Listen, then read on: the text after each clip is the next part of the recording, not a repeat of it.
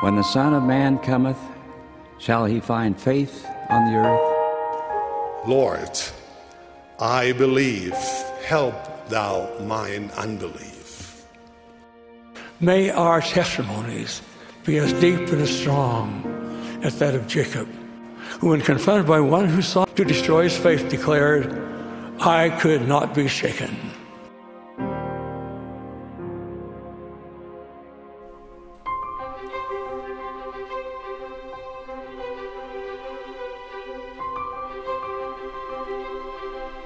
Hello, Unshaken Saints. I'm Jared Halverson, and welcome back to class. Can I start today by stating the obvious that I absolutely love Scripture study, uh, and having you come and join me for it is such a blessing as I've been getting to know many of you around the world.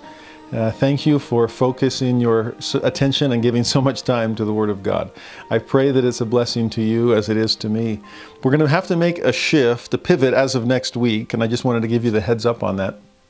Uh, as far as studying the entire Old Testament in a single year, uh, I know we have our work cut out for us, and that's especially true in the book of Genesis and the book of Exodus. Uh, we spent like three months in just in Genesis, uh, and I think what five and a half weeks or so is what what the curriculum allots to the book of Exodus. But because we're, I mean, this is a literal experience of robbing Peter to pay Paul. Okay, we're robbing oh Samuel and and Ezekiel in order to pay uh, Moses here in the books of Moses, but to spend so much time in Genesis and Exodus, which they deserve. Don't get me wrong. Uh, Genesis is the book of books in the Old Testament, and to establish the covenant and Abraham, Isaac, and Jacob and the house of Israel, it's going to carry us through the rest of this history.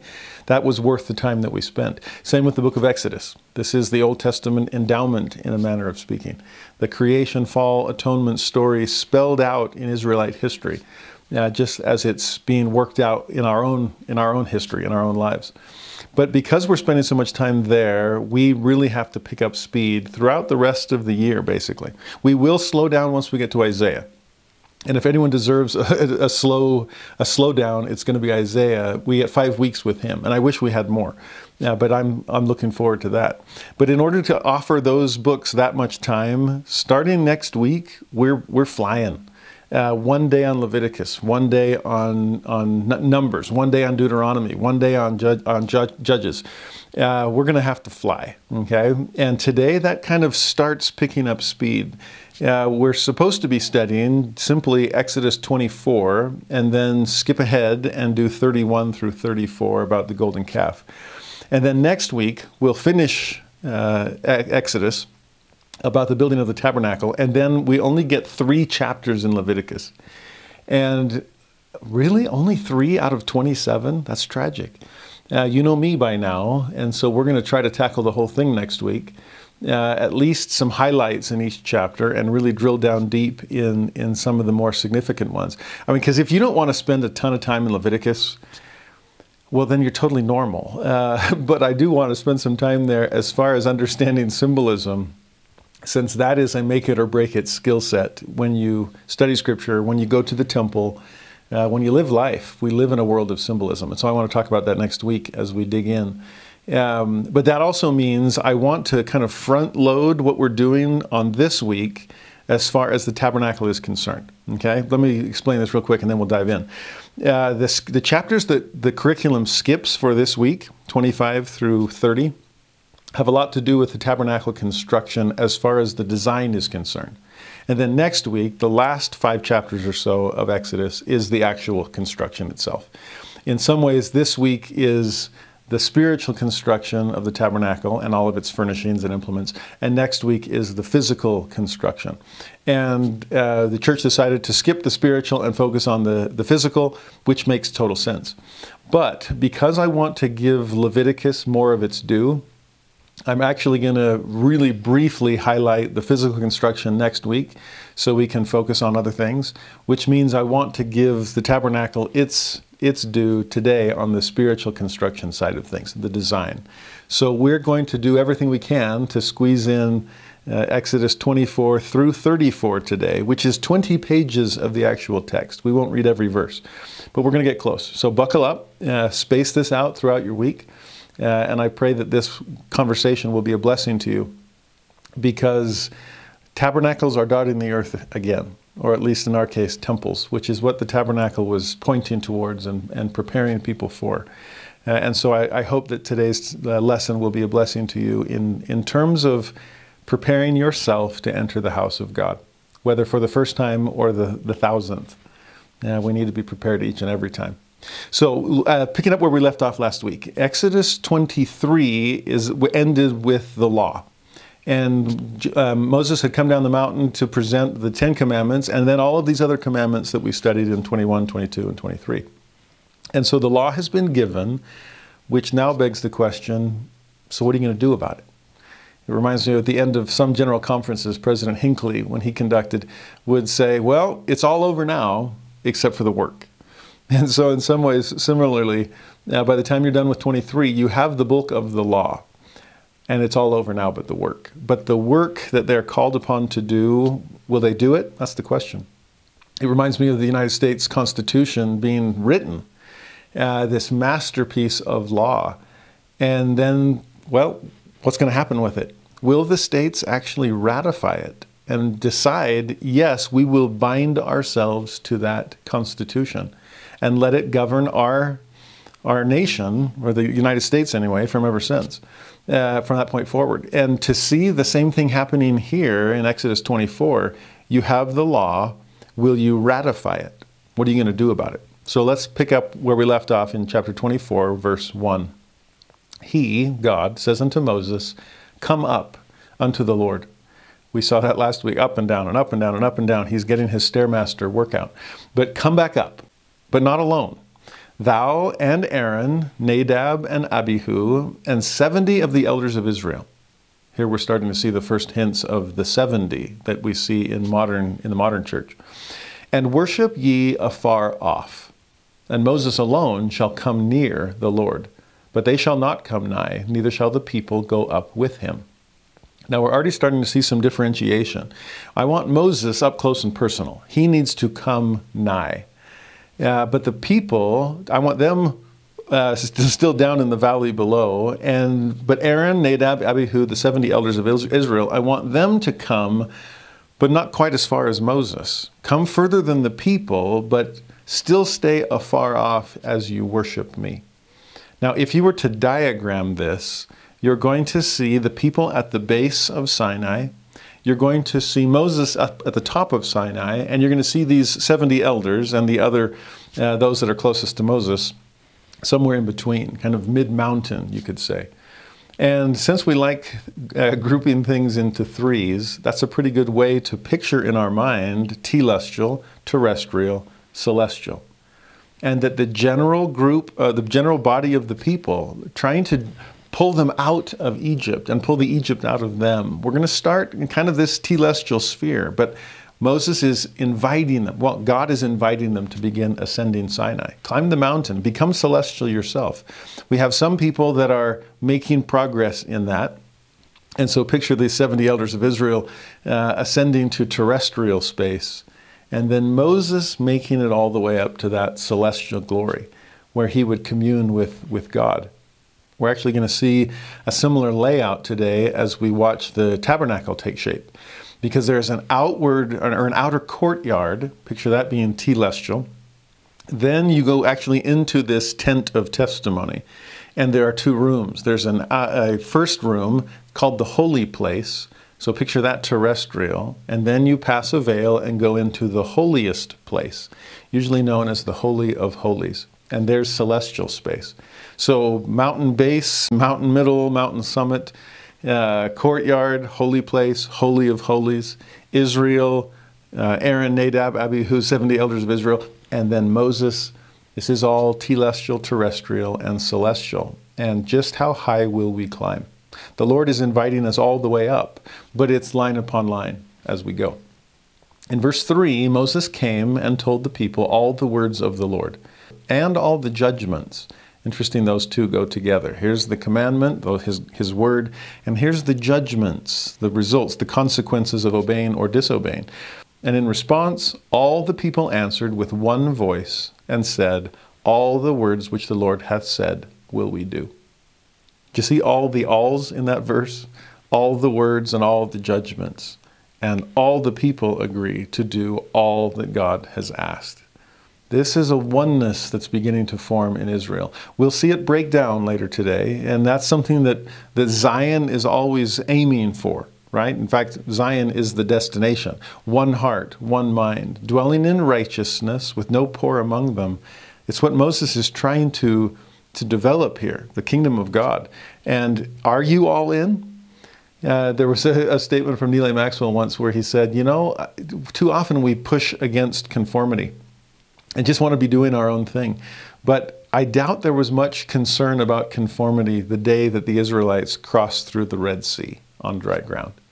Now, there was a straight and narrow path that nobody had any problem navigating. No, I will not veer to the left or the right since there are walls of water on either side. Uh, we, are, we are all in. We are all one in this. And of course, there is room for diversity, but it must be within that unity of the kingdom of God. We'll see more of that later as they con- conquer the promised land. In verse 4, Moses wrote all the words of the Lord and rose up early in the morning and builded an altar under the hill and 12 pillars according to the 12 tribes of Israel. So here you see Moses taking what God said, an oral law, and committing it to writing, a written law, something you can study and pore over and used to judge the people. He rises up early in the morning, so you sense this in terms of priority. Don't it's like gathering manna. Make sure this is the first thing that you do. And he builds an altar and sets up pillars. Remember, altars are something that we associate with Abraham. Made sure there was one everywhere he went. And pillars are something we associate with Jacob. That he set those up as, as places to kind of sink a stake down into the ground to mark a memory uh, and to, to demarcate this is a time of that God has covenanted or renewed his covenant with each of us. Now there's 12 pillars, one for each tribe of Israel. In verse 5, he sent young men of the children of Israel, which offered burnt offerings and sacrificed peace offerings of oxen unto the Lord. So far, we've been seeing more of the elders of Israel, and they're helping Moses lead, right? Captains of tens and fifties and hundreds and so on. But here, the young men are being called upon to offer sacrifice, to involve the rising generation in our sacrifices, to help them understand why we serve the way that we serve. It really is incredible to watch missionaries, especially at a younger and younger age, 18 and 19 year olds, heading out to offer themselves as a sacrifice to the Lord and invite all other people to start ascending Mount Sinai with them. The future is bright when it's young men and women making those kinds of sacrifices. In verse 6, Moses took half the blood of those sacrifices and put it in basins, and half of the blood he sprinkled on the altar. And he took the book of the covenant, what he'd written, and read in the audience of the people. And they said, All that the Lord hath said will we do, and be obedient. So he hears it, receives it, he writes it, he reads it. He makes sure that his people can understand these things. And so he's, he's conveying it to them, he's teaching. In a way, he's trying to make sure do you understand what you're committing yourself to? Let, let me read it all. Uh, I've heard it, the old joke that the Bible for most people uh, is like those agreements online where we just scroll to the end as quickly as we can and we just click the button saying that, yes, I've read it and I agree with it. Well, I don't know how true that is that of reading and agreeing, but that's what Moses is trying to do. Now sit down. I actually want to explain all of this to make sure that you know what you're committing yourself to.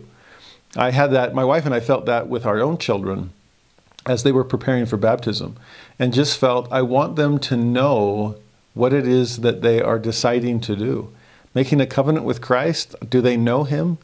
Committing to, to spend a life building the kingdom of God? Do they know what that entails?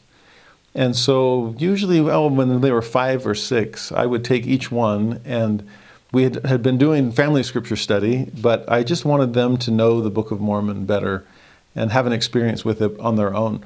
And so, I would start one on one reading it with each child.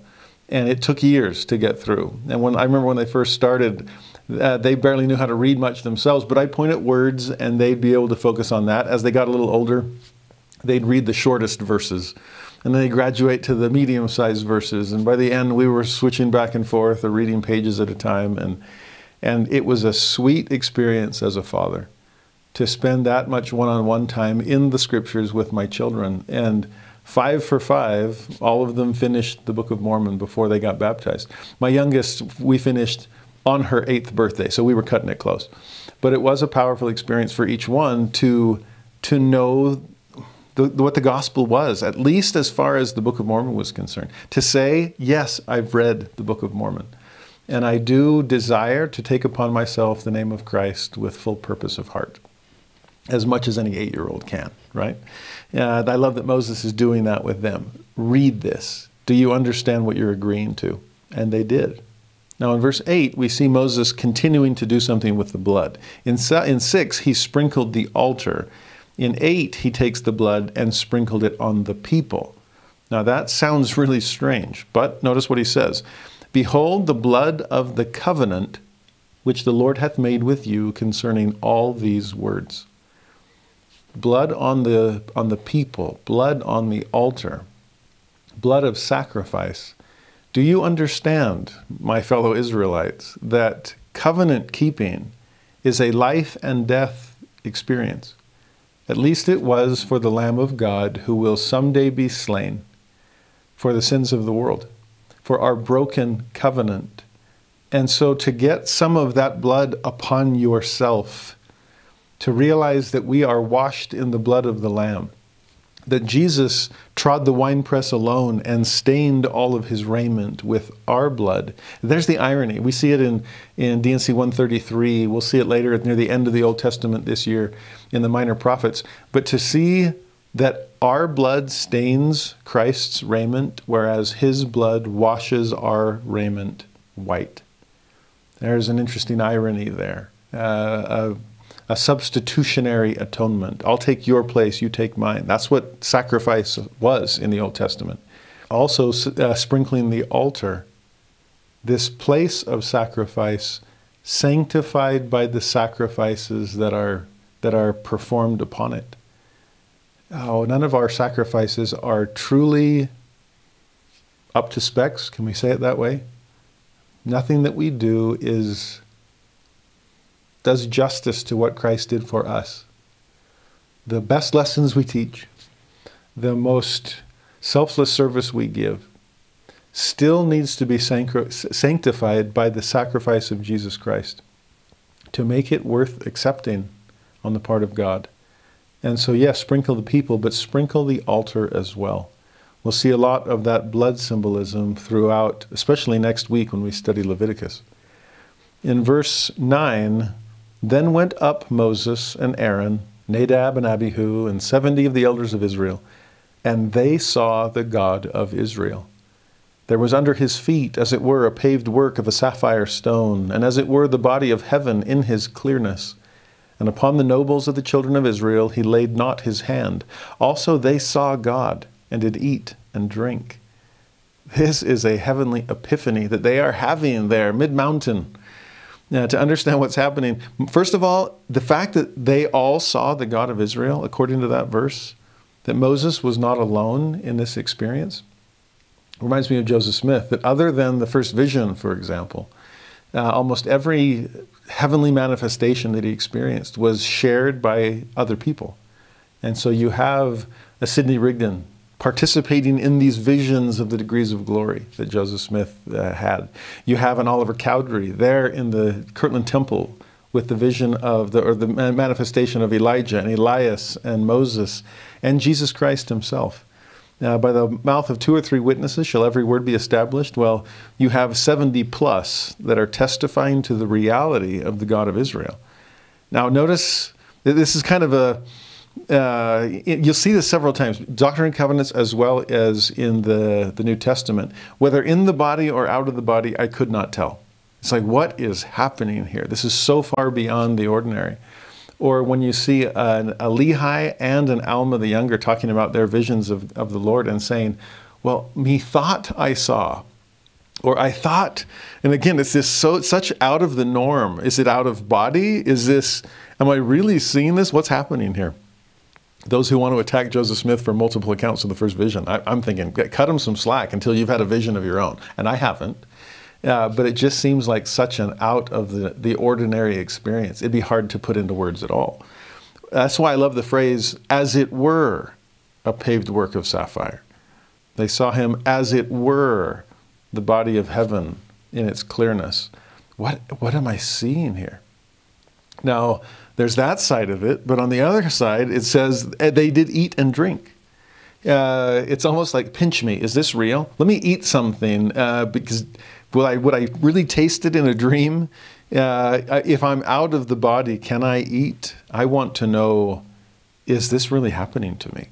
There's a, a methinks kind of side of the experience, but also a very physical, tangible. I'm eating, uh, and this is real. And the realest thing of all is God. When it speaks of His feet on this paved work, when it speaks of his hand, he didn't lay it upon them. Uh, the technical term is anthropomorphism. Anthro is man, morph is shape. And so to have an anthropomorphic God, a God in human shape. Now, that shouldn't sound crazy. Uh, Genesis 1, we were created in the image of God. And so, of course, God would be in our image. We're in His uh, an anthropomorphic God? No, we're, is this even a word?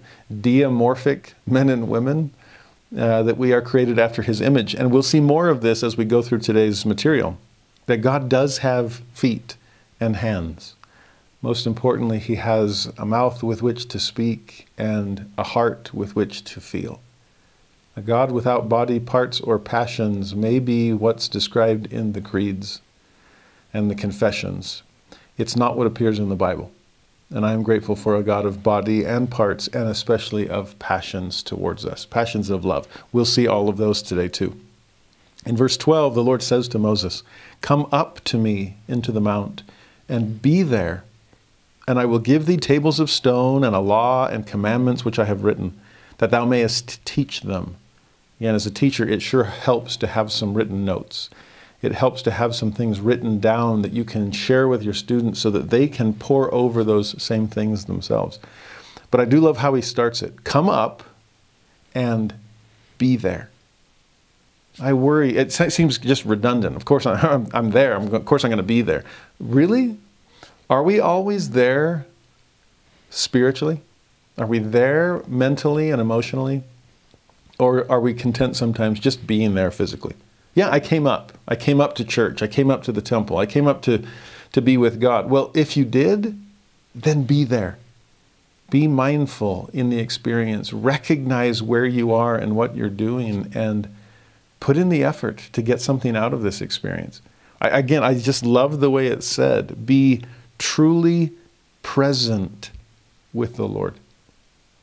Be attentive. Be alert. Be focused Turn aside to see.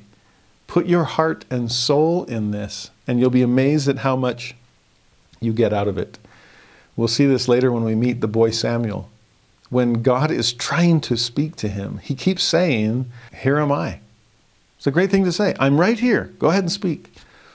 Uh, and he doesn't get the message.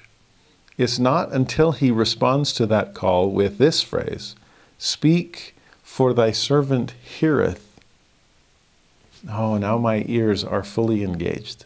You can speak to me. Now, this only works in English. What is it called? A homophone, I think? Uh, two words that, that mean different things but have the same sound. Well, here am I compared to speak for thy servant heareth. And I guess what I'm trying to say is it's not enough to be here, H E R E. You have to be willing to hear, H E A R. So the next time you go up to be with God, make sure that you are there. Just be there. And the Lord will be there with you.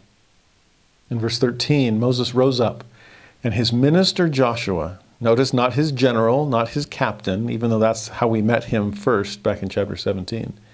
His minister Joshua came with him. And Moses went up into the mount of God. And he said unto the elders, Tarry ye here for us until we come again unto you. And behold, Aaron and Hur are with you. If any man have any matters to do, let him come unto them.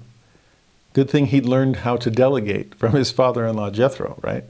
Good thing that Aaron and Hur have had some experience helping to lead, helping to sustain the prophet, someone up in view among the people down below that they are coming to trust. It is interesting how much of leadership is not doing. It's being present, as we just saw. It's thinking, it's pondering, it's planning, it's creativity. And yes, that's an intense amount of work, but it's not always the visible, hands on, out with the people kind of experience. And sadly, some leaders, and this is true in, in business or in education, it's definitely true in terms of church, especially on the local level, so busy doing, doing, doing that we don't have time to create, to think, to ponder, to be present. And so to me, it's, it, again, very important what Moses had learned from Jethro and what he's doing already. You guys stay here. I'm going to go and be with God. I need to learn some things, so I have something to teach. I need to receive some things, so I have something to give. And anybody that needs anything, they're not missing any uh, authority here. They can get what they need from Aaron and Hur. And that's true of counselors. So I hope we're willing to go to them. I hope that also we're willing to tarry if we're the one asked to stay behind or to do some other work that, the, that our leader delegates to us.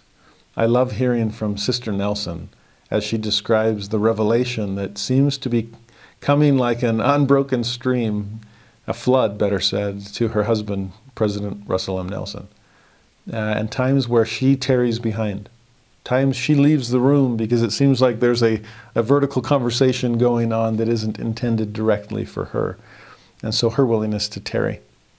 In verse 15, Moses went up into the mount, and a cloud covered the mount. Picture the mountain being veiled. And so here's this veil that you pass through to be in God's presence. Think of that in terms of terrestrial to celestial. We'll see more veils by the end of today's discussion. With that cloud, that veil, the glory of the Lord abode upon Mount Sinai. And the cloud covered it six days, and the seventh day he called unto Moses out of the midst of the cloud. Six days? What was happening during that time? I am curious. What was Moses doing? Waiting? Being patient? Being there? Or perhaps it took that much time to get him to a point where he really, truly was there and then God could speak. Obvi- there's obvious Sabbath symbolism there, which I love, but to think of this six days of preparation on Moses' part, so that he could then, on that Sabbath, that seventh day, enter God's presence and receive all that he needed to receive. I remember years ago teaching with an amazing faculty uh, incredible, incredible people, so focused on blessing the rising generation. And one brother who was doing that against some physical challenges of his own and just muscling through it. And he'd prayed for deliverance from this physical affliction and he'd received priesthood blessings and so on. But like the woman with the issue of blood, nothing better as a result. And then obviously inspired by the Holy Ghost and recognizing someone else's spiritual gift, he asked another colleague, specifically him, for a priesthood blessing of healing. Uh, that was one of the spiritual gifts, I'm sure, of this good brother who since has passed on. But a man of incredible, incredible faith. And when the faith to heal meets the faith to be healed, miracles happen. And it wasn't, oh, oh, you need a blessing? Sure, sit down. And what's your full name again? No, it was, that's the miracle you seek. Please give me some time to prepare myself. And as this, this elder brother, this older faculty member, full of faith, paid whatever price he needed to to prepare. This verse reminds me of it. Six days Moses is on the mountain, past the veil, there amid the cloud but God hasn't spoken yet. Do you get impatient? Or does he realize God is giving me time to, to put myself in the right spiritual state? And when this older colleague was ready, finally, to bless this younger colleague, the miracle took place. And he was healed. uh, something that we collectively rejoiced in. But to see that kind of preparation was something that, that gave me pause, literally, and, and taught me the importance of pausing and preparing before we just rush into some kind of spiritual experience that we might not be fully present to receive without that preparation. In verse 17, the sight of the glory of the Lord was like devouring fire on the top of the mount in the eyes of the children of Israel. And Moses went into the midst of the cloud and gat him up into the mount. And Moses was in the mount 40 days and 40 nights. Now, that phrase should ring some bells. Back in the story of Noah and the flood, it was 40 days and 40 nights of rain to cleanse the earth. Ah, cleansed with water and now cleansed with fire. 40 is a great symbolic number that has come to mean purification.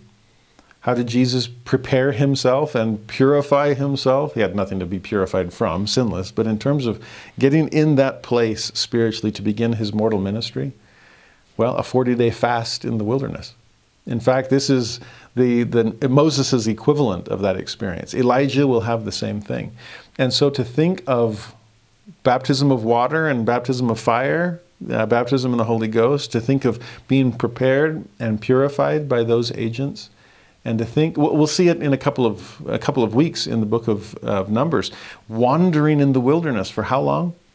Forty years to purify that generation and prepare the next to enter the promised land. And what are they preparing themselves for in each instance? To perform the Lord's work. That's what Jesus fasted for in those 40 days. That's what Elijah, that's what Moses here. That's the wandering throughout the, the wilderness to before they enter the promised land. Because as you turn the page from Exodus 24 to 25, are you ready? Are you prepared now to build a house where God can dwell with you? And here's this spiritual uh, creation, the design for the tabernacle. Uh, Exodus 25, verse 1 The Lord spake unto Moses, saying, Speak unto the children of Israel that they bring me an offering of every man that giveth it willingly, with his heart, he shall take my offering. Now, notice the words there. It's an offering, it's not a debt. We're bringing it, not sending it. This is much more personal and intimate and relational. This is done willingly, so not under duress, it's not begrudgingly, and it's done with the heart. So, not insincerely, not distractedly, full focus, all attention, be present. I am making this offering to God. It's with my heart because that's really what it is that I'm supposed to be offering. This becomes clear in the Book of Mormon, right? When the Lord says, okay, law of Moses has been fulfilled. And so everything, every sacrifice people have been giving up to this point has now found its rightful destination uh, in my sacrifice, which was whole souled, wholehearted. And so, what am I asking from you now? No longer animal sacrifice, but the sacrifice of the animal within you, as Elder Maxwell used to say a broken heart and a contrite spirit. And so, what are they asked to do with their more temporal sacrifices? Well, infuse them with spirit by infusing them with heart and soul. In verse 3, this is the offering which ye shall take of them gold and silver and brass, and blue and purple and scarlet, and fine linen and goat's hair, and ram's skin dyed red, and badger's skin and shittim wood. Now, we're going to see all kinds of lists here, and we do need symbolic eyes to see. What is it the Lord's trying to convey in this interesting architecture? Now, I remember it hitting me once. I think too often I read my scriptures in black and white, even though I use all kinds of colored pens and pencils to mark things, and each color means something different to me. Uh, maybe the same is true of God. But if you looked at verse 3 through 5 in living color, what do you see? It mentioned red. The ram skin was dyed red, and scarlet is there too.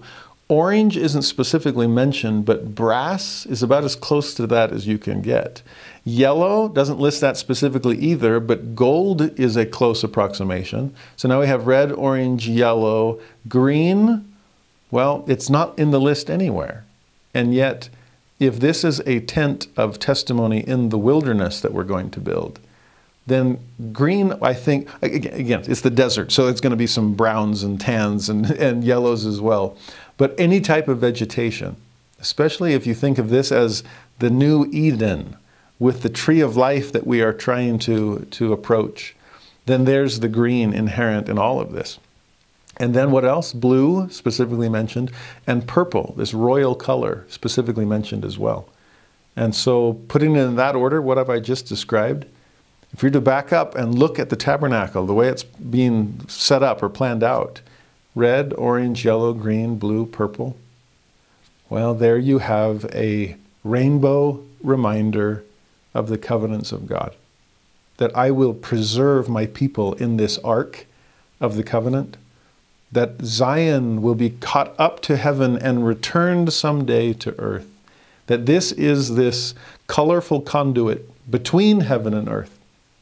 Jacob's ladder, uh, whatever you want to call this, the tabernacle is the place where we are reminded of our covenants. And as God looks at the token of the rainbow and, and promises us peace and, and reassures us of hope and time ahead yet to change and prepare and flood the earth with righteousness to overcome the flood of sin that will bring about a flood of consequence. Uh, that just struck me once when I was studying this and started envisioning the colors of this, the colors of the rainbow. In verse 6, it's not just those items, it's oil for the light, spices for anointing oil, and for sweet incense. Notice there will be sights in the temple and smells in the temple, or in the tabernacle, that is. And so a feast for every sense. Add to that onyx stones and stones to be set in the ephod and in the breastplate. That's all ceremonial clothing for the high priest that we'll come to understand in chapter 28. Then, verse 8 and let them make me a sanctuary that I may dwell among them. Interesting, he'd use that word, a sanctuary. You Sometimes hear stories of oh, someone on the run for some accidental thing that they've done, and they run into a cathedral or a church somewhere and cry, sanctuary. Uh, if you played tag when you were a kid, the equivalent was home base. And I remember playing tag when I was little. We played it all the time.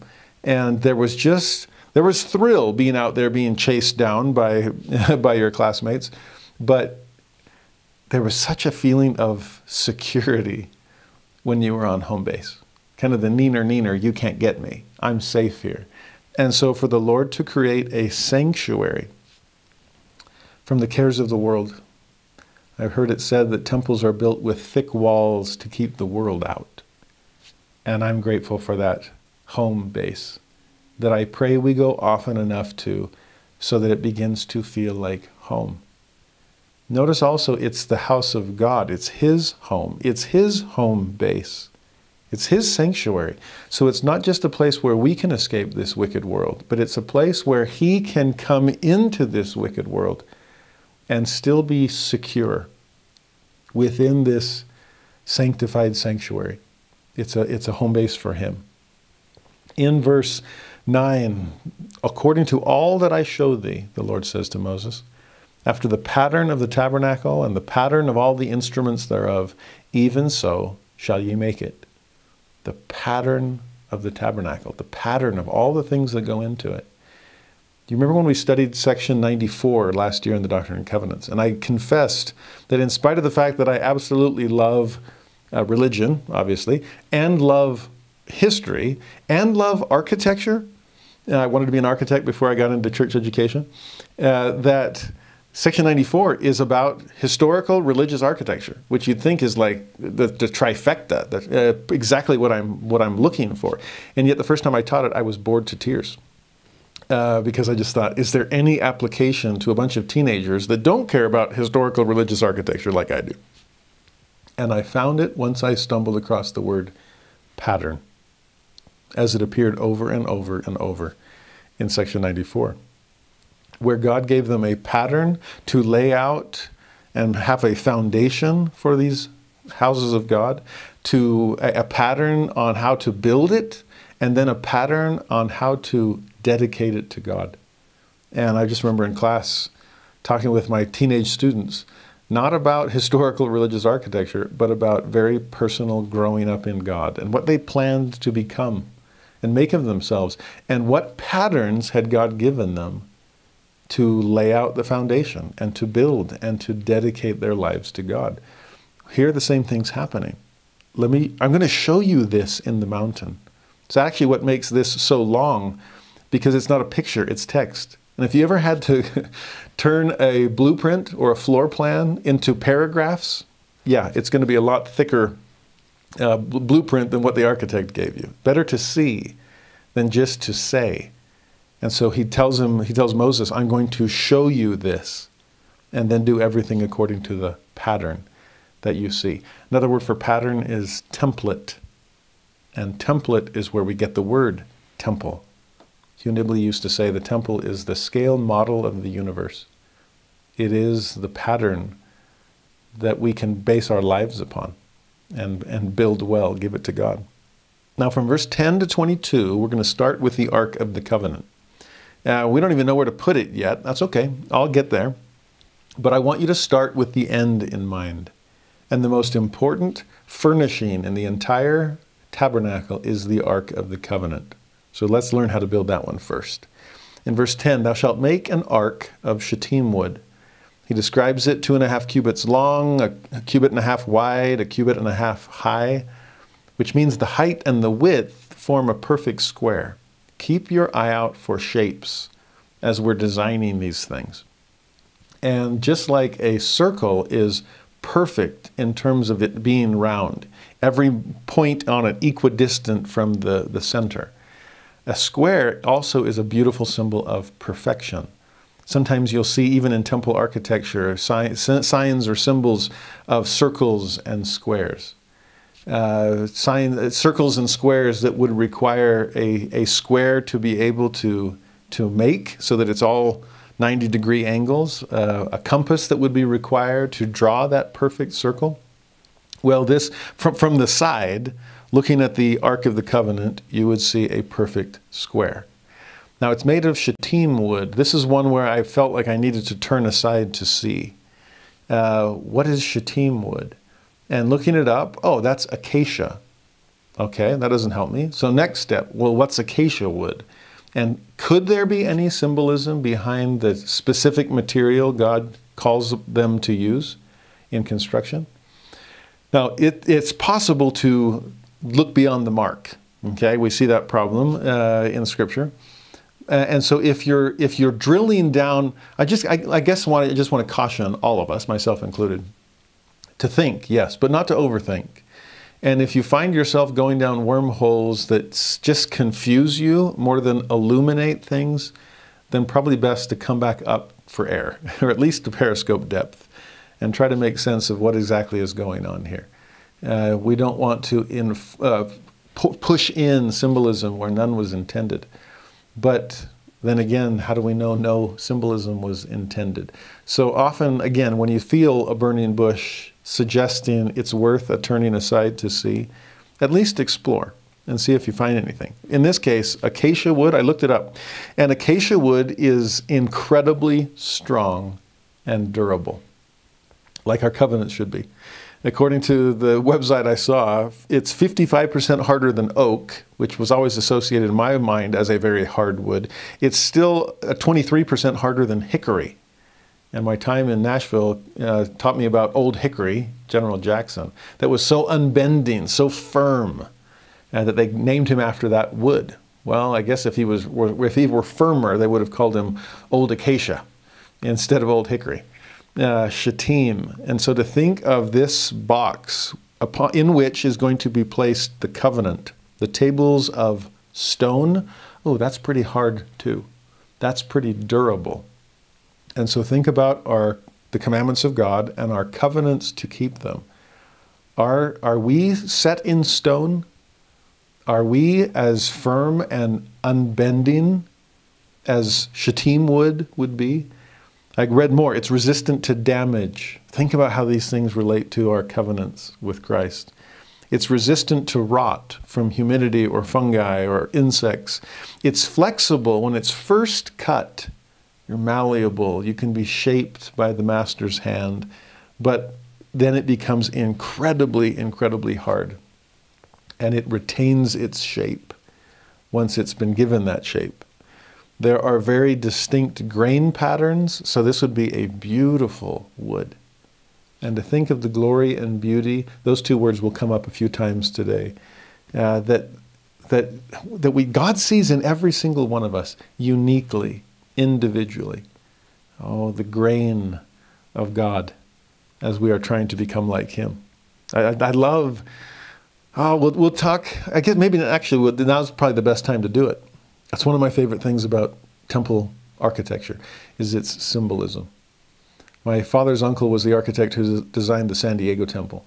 And when it was first dedicated, or the open house, I should say, I got to go down with my family to San Diego. And Uncle Bill was our tour guide. And that was mind blowing to be able to go on the tour through the open house with the man who designed the temple.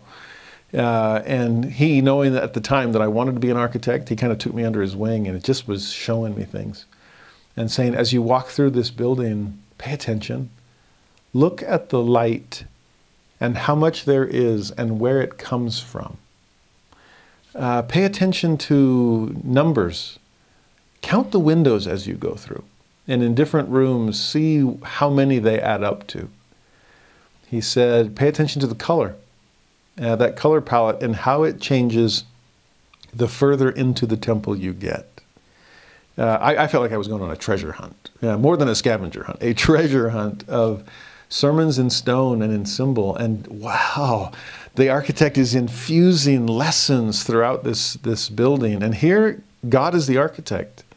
So have the eyes to see and try to understand what the Lord might be suggesting here. Verse 11 Thou shalt overlay it with pure gold Within and without shalt thou overlay it, and shalt make upon it a crown of gold round about. Now, gold is a great symbol of value, of great worth. How does God feel about his holy house and those that he, he invites to enter? Gold is, is rare. Why it's so valuable. Gold is pure, it doesn't rust gold, even when it's a crown around it. Oh, can we be a little more obvious? Huh? The, this is a royal priesthood. We saw that back in chapter 19 that God is trying to create out of his people a holy nation, a kingdom of priests and priestesses, kings and queens. Here's this crown of gold on the Ark of the Covenant. And that shittim wood, as strong and durable and beautiful as it is, ends up being co- coated on both sides, inside and outside, with that precious gold. Now, it's one thing to do it on the outside, where people will see it, but to cover it on the inside with gold as well. Remember the ark of Noah was pitched within and without with pitch? So it kept the water out, but it was on both sides, double layer protection. Well, to think of this ark, same word, pitched in a way. Remember, pitch in the Noah account was kafar, to cover. And kafar, cover, is the atonement verb in Hebrew. And so to have the ark covered inside and out with this covering of the atonement keeps the, the water out of our lives, the sin, right? The, what would make us sink. And here again, to cover the Ark of the Covenant inside and outside with precious gold. Wow, the blood of the Lamb is far more precious than any gold ever could be. But this is a good symbol to point towards it. Inside, outside. And, and again, I love the fact that they coat the inside as well. The part that no one will ever see. Are we only trying to appear to be righteous? Are we whited sepulchres, as Jesus said? Or is the gold on the inside also, where no one sees but God? Oh, I can't remember which apostle mentioned that as they were walking through the Salt Lake Temple once and seeing a doorknob in some interior door that's off the beaten path and nobody ever gets to look at. And yet it was carved with such craftsmanship. Some pioneer metal worker that knew that God would see his handiwork and wanted to make it the best he possibly could. The same thing's happening here. Verse 12 then describes four rings that are placed in the four corners of the Ark of the Covenant, and then these long staves of shittim wood that are also covered over with gold that you place through those rings. So one stave, uh, a, a rod on each end. And that way you can pick it up and you can move the, the Ark of the Covenant whenever necessary. But notice this detail the staves shall be in the rings of the ark, they shall not be taken from it. Now, you'd think that once they set up the tabernacle, you'd put the Ark of the Covenant in the Holy of Holies and then take the, the staves out of the rings and store them somewhere. This is its final resting place, right? Well, not right, because this tabernacle will go wherever God wants his people to go. Remember, it's Abraham setting up altars everywhere he went. Same thing here. This, this is a portable house of God, and the covenant itself must be portable as well. Take it everywhere you go. There should never be a place that you enter where you feel like you needed to leave the Ark of the Covenant behind. And the fact that it's always ready to be picked up and moved, the drop of a hat at a moment's notice, sound like Passover? Eat it in a three point stance, basically, like we talked about a few weeks ago. Well, we're, we're ready to follow God at the drop of a hat. You say to go, and we're ready to pick it up and run. In verse 16, and thou shalt put into the ark the testimony which I shall give thee. I love that. This is why we call it the Ark of the Covenant. We're putting the covenant in the ark. Some you could call it the Ark of the Testimony, same thing. The fact that God would even use those terms interchangeably, this is my testimony. This is my covenant. I promise. I testify. I witness to you that I will keep my part. Please keep yours. But that testimony, those tablets of stone, we'll see later today, are going to be placed within this ark. Now, we saw it already with Noah. We saw it again a few weeks ago with Moses that arks are meant for preservation. And so, what are we doing to preserve our testimony? What are we doing to keep our covenants safe within wood that's as strong as you can imagine? In a way, this is shelf one in our analogy of the three shelves. This is Revelation past uh, and present. You could call it shelf two as well. Uh, and how well am I, are, am I preserving and protecting it? There better be a good ark to store our testimonies and, and covenants. In verse 17, thou shalt make a mercy seat of pure gold. Two cubits and a half shall be the length thereof, and a cubit and a half the breadth thereof. Now, we talked about this when we had our Easter message to come boldly to the throne of grace. And the throne of grace is the mercy seat. No, no, I will come and adore at the mercy seat. The mercy seat is the lid of the Ark of the Covenant. It's what covers the covenant, kafar, atone.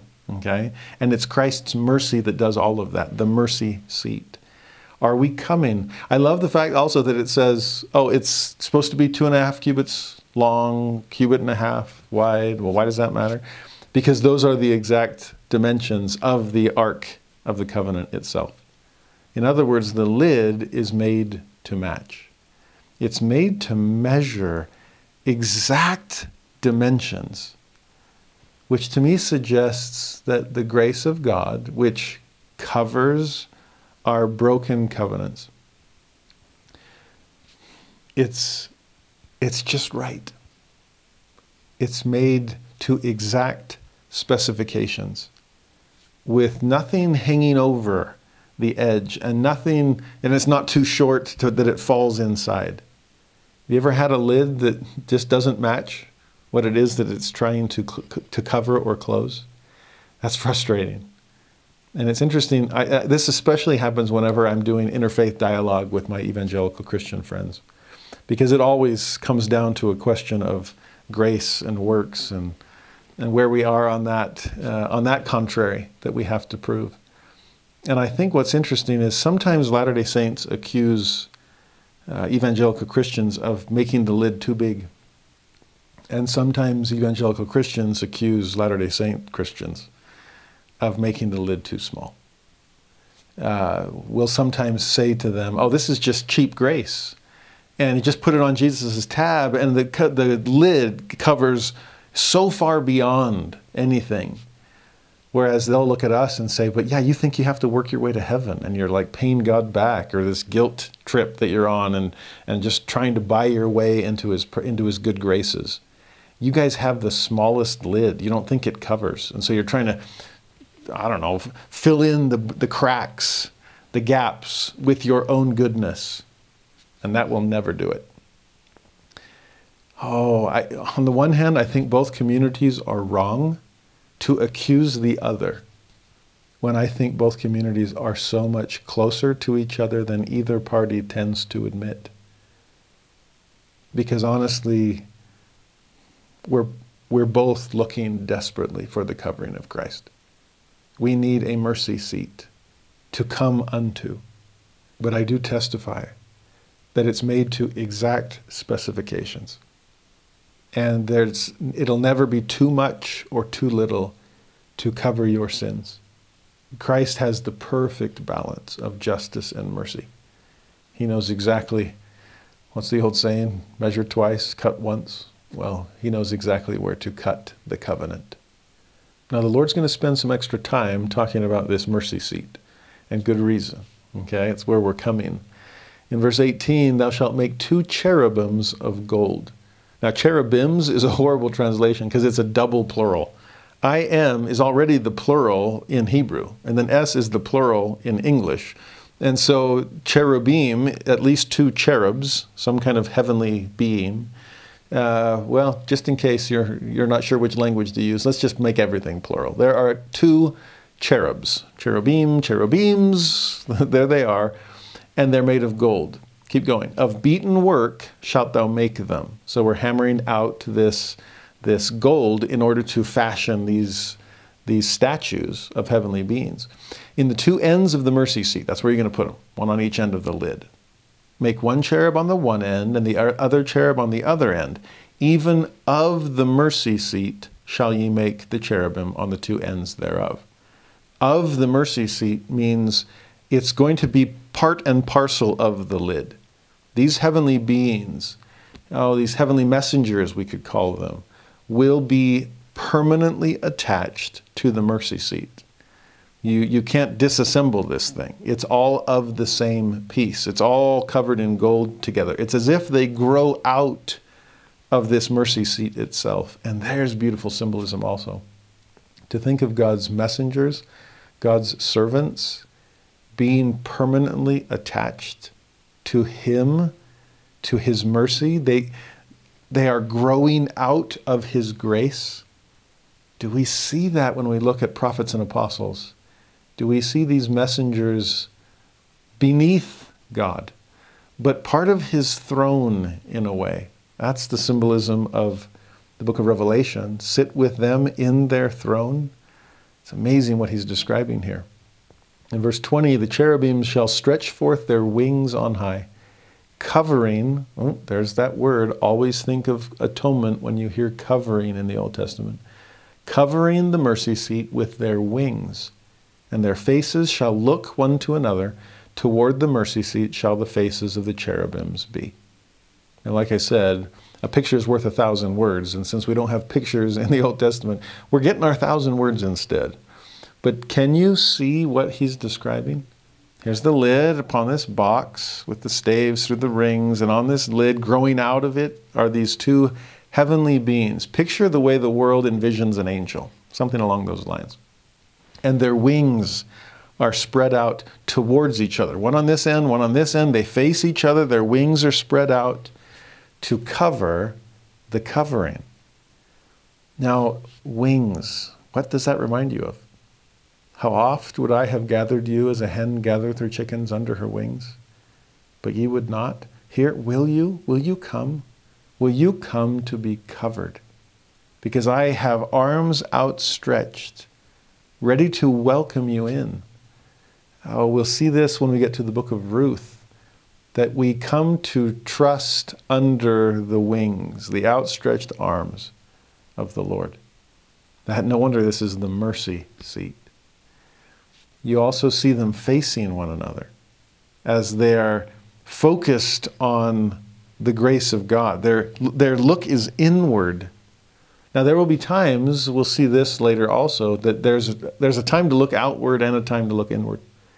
When you go to the temple and go to the baptistry, you see 12 oxen with the burden of baptism upon their backs. And which way do they face? Outward.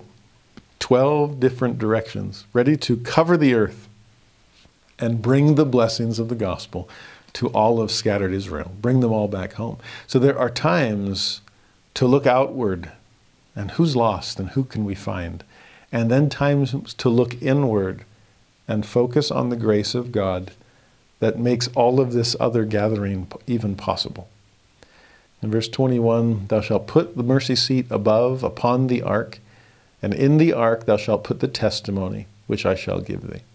So, mercy, grace, atonement above all else, covering the law, including the parts of it that we break. In verse 22, there I will meet with thee, and I will commune with thee from above the mercy seat from between the two cherubims which are upon the ark of the testimony, of all things which I will give thee in commandments unto the children of Israel. There I will meet with thee. There I will commune with thee. Oh, come boldly to the throne of grace. Receive this mercy, receive this grace, and you will come to know God. You'll commune with Him there.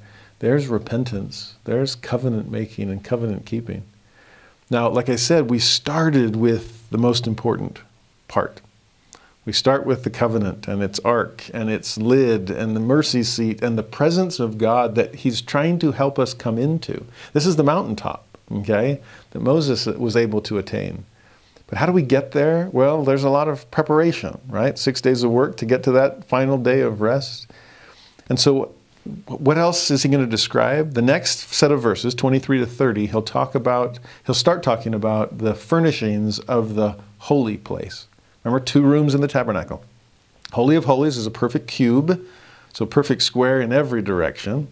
Uh, and that's where the Ark of the Covenant will be. Only piece of furniture there. Back up, uh, there will be a veil, we'll see later.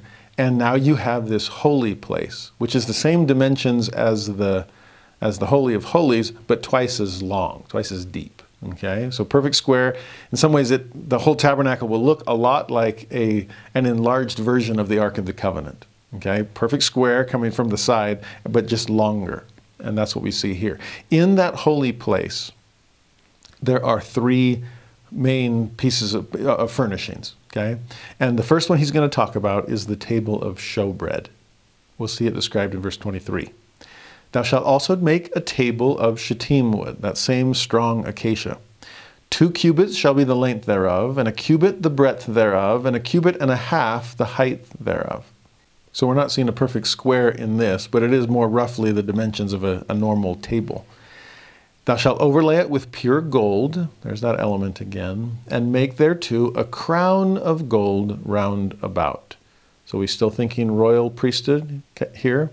Uh, it also has rings in the four corners and staves through those rings. So this is portable as well, just like the Ark of the Covenant.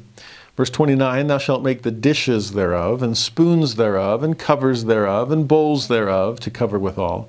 Of pure gold shalt thou make them. Sounds like we're setting the table. And that's exactly what they were doing. Thou shalt set upon the table showbread before me always. Now, showbread, that's an interesting word. Elsewhere, it's translated as the bread of the presence. Again, to think of showing, I want, to, I want you to see me. When Jesus was taking that unleavened bread in his final Passover and breaking it and giving it to his apostles, saying, Take and eat this in remembrance of my body. Or some, to shift from simile to metaphor, this is my body. This is my blood. And so here is a table to show the presence of God. The real presence is beyond the veil in the Holy of Holies, there in the Ark of, at the Ark of the Covenant. But here what I am showing you through a preparatory preview. There's yet another translation of showbread that I absolutely love. Sometimes it's called the bread of faces and showing, seeing face to face. And again, I think of that at the sacrament table. This is our table of showbread, the front of every chapel. This is where the body and blood of Christ are shown us. And it is bread of faces, it's bread of presence. I, I can come face to face with the best version of myself, which is Jesus, the person I'm trying to pattern my life after. And as I come to see him for who he really is in this sacrificial state, and as I come to see my own self and who I'm trying to become and how far I yet have to go, how a covenant relationship is forming there. It's deepening there. I'm starting to receive his image in my countenance with the help of this bread of faces. Now that's going to be on your right side. If you are a priest and you're entering the holy place, pass through this outer veil, come into the holy place. There's an inner veil that you'll pass, the high priest will pass only on the Day of Atonement. We'll study more of that next week. And we talked about it on Easter. Uh, but in this room, the holy place, on the right hand side, that's where you will see the table of showbread. The right is our covenant hand, the right, the covenant side, making these covenants as I'm coming unto Christ. Meanwhile, what's on the left side? The candlestick. And that's what's described next. Verse 31 Thou shalt make a candlestick of pure gold. There's that element again. Of beaten work shall the candlestick be made. His shaft, so there's picture a trunk. His branches, oh, that makes it more obvious. So here we have a tree of life uh, a burning bush, you could say, right there inside the holy place, illuminating everything from within, since no outer light will penetrate. His bowls, his knops, that's a crown shaped circlet that goes around the, these branches or the shaft. And his flowers, so think of alive and fruitful, shall be of the same. And six branches shall come out of the sides of it, three branches of the candlestick out of one side, and three branches of the candlestick out of the other side. So, together with that central vertical shaft, with its bowl on top to put olive oil to be able to burn, there would then be six branches off the sides, making seven sources of light. And again, think creation and seven being total and perfect and whole. So, this wholeness of light illuminating the tabernacle within. In verse 35, there shall be a knop, so that little circular crown, kings and queens, under two branches of the same. So where they come together, put a little crown. A knop under two branches of the same, do it again. A knop under two branches of the same, do it again. So the, the two, the four, the six, according to the six branches that proceed out of the candlestick. Again, this would be so much easier with pictures. So, yes, Moses, I will show you all this but you'll have to go explain it to everybody else. Verse 36 Their knops and their branches shall be of the same. All it shall be one beaten work of pure gold. So, kind of like the cherubims attached permanently, part and parcel, growing out of grace, the lid of the Ark of the Covenant, same thing here, that this is going to be one unified piece of artistry uh, and to think of the wholeness, the oneness that God is, intends to make of all of us. Verse 37 Thou shalt make the seven lamps thereof, and they shall light the lamps thereof, that they may give light over against it. Reminds me of that famous C.S. Lewis quote that I believe in Christianity the way I believe in the sun. That not only do I see it, but by it I see everything else more clearly. So, yes, you can look at the candlestick. You can see the tree of life. You can see this burning bush. But because of the light that it provides, you can see everything else clearly also. You can see the sacrifice just across the room and see in the bread of the presence the face of God smiling back at you. In verse 38, he even mentions tongs and snuff dishes. And those, yes, are supposed to be of pure gold also. So, yes, even the smallest, the most temporal, the most practical, just tongs and snuff dishes, make sure those are of the best possible workmanship as well. Give your absolute best to God, no matter what you're doing. Then this chapter ends with verse 40 Look that thou make them after their pattern, the one which was showed thee in the mount. And I'm so grateful God continues to do that. Take us into the mountain of the Lord and show us the patterns whereby to live our life. I am the way, the truth, and the life. I've acted it out. I've demonstrated the whole thing. So come unto me, learn of me, and you'll be able to follow the same pattern yourself. Now, with this explanation, this, this floor plan made out of words, we're now ready to learn a little bit more about the tabernacle itself that's going to house these things. We'll get some more specifics in a moment. It's chapter 26, verse 1. Moreover, thou shalt make the tabernacle, this is going to be the tent of testimony itself, with 10 curtains of fine twined linen. Now, picture what this is going to look like. It's going to be blue and purple and scarlet, with cherubims of cunning work shalt thou make them. So there were cherubim made of gold that were part of the lid of the Ark of the Covenant. But now on the outside of the tabernacle itself, this tent of testimony are going to be sewn, woven, embroidered cherubim as well. These are the, the angels that stand as sentinels. Can you pass them to enter the presence of God? How prepared are you? And there's going to be blue and purple and scarlet. Now, we talked about the rainbow reminder, but also think of blue as water and sky, the firmament, the heavens above, or the sea beneath, the waters of chaos being overcome in creation, the waters of cleansing, washing away our sins. Purple, think of royalty. And again, a kingdom of priests and a holy nation. Scarlet, again, think of blood, and the sacrificial offering. And the tent of testimony itself is woven out of those materials. He goes on to describe the length and the width of each curtain that you're going to put together. And so there's loops on the edge and these clasps that connect it all together, each curtain to the next.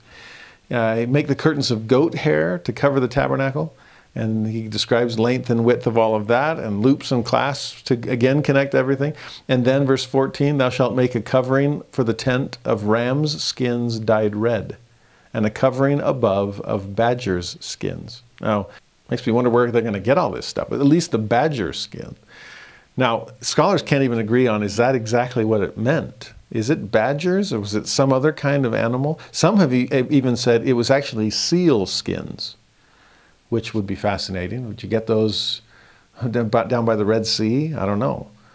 But what's interesting is to think of these layers, one after the next after the next. There's the fine twined linen, the inner layer of blue and purple and, and scarlet. There is a layer of goat hair. And goats are an animal of a sacrificial animal. Cover that with a layer of of ram skins, dye them red to make it all the more obvious that that is a sacrificial offering as well.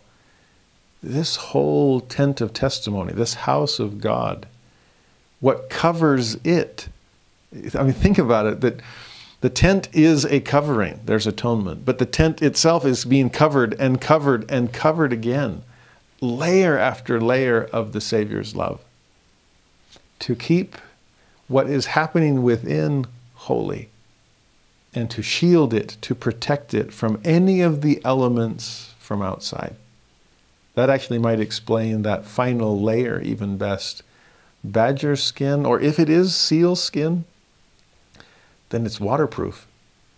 And you have now pitched your ark without and within with pitch. You have covered the temple, the tabernacle, in such a way that none of the, the waters of chaos can enter. Fascinating to see what's, there's a practicality there, but there's a symbolism there that is so deep. I've even read some scholars that suggest if it's seal skin or even badger skin, it's so much more plain looking than this inner covering of blue and purple and scarlet.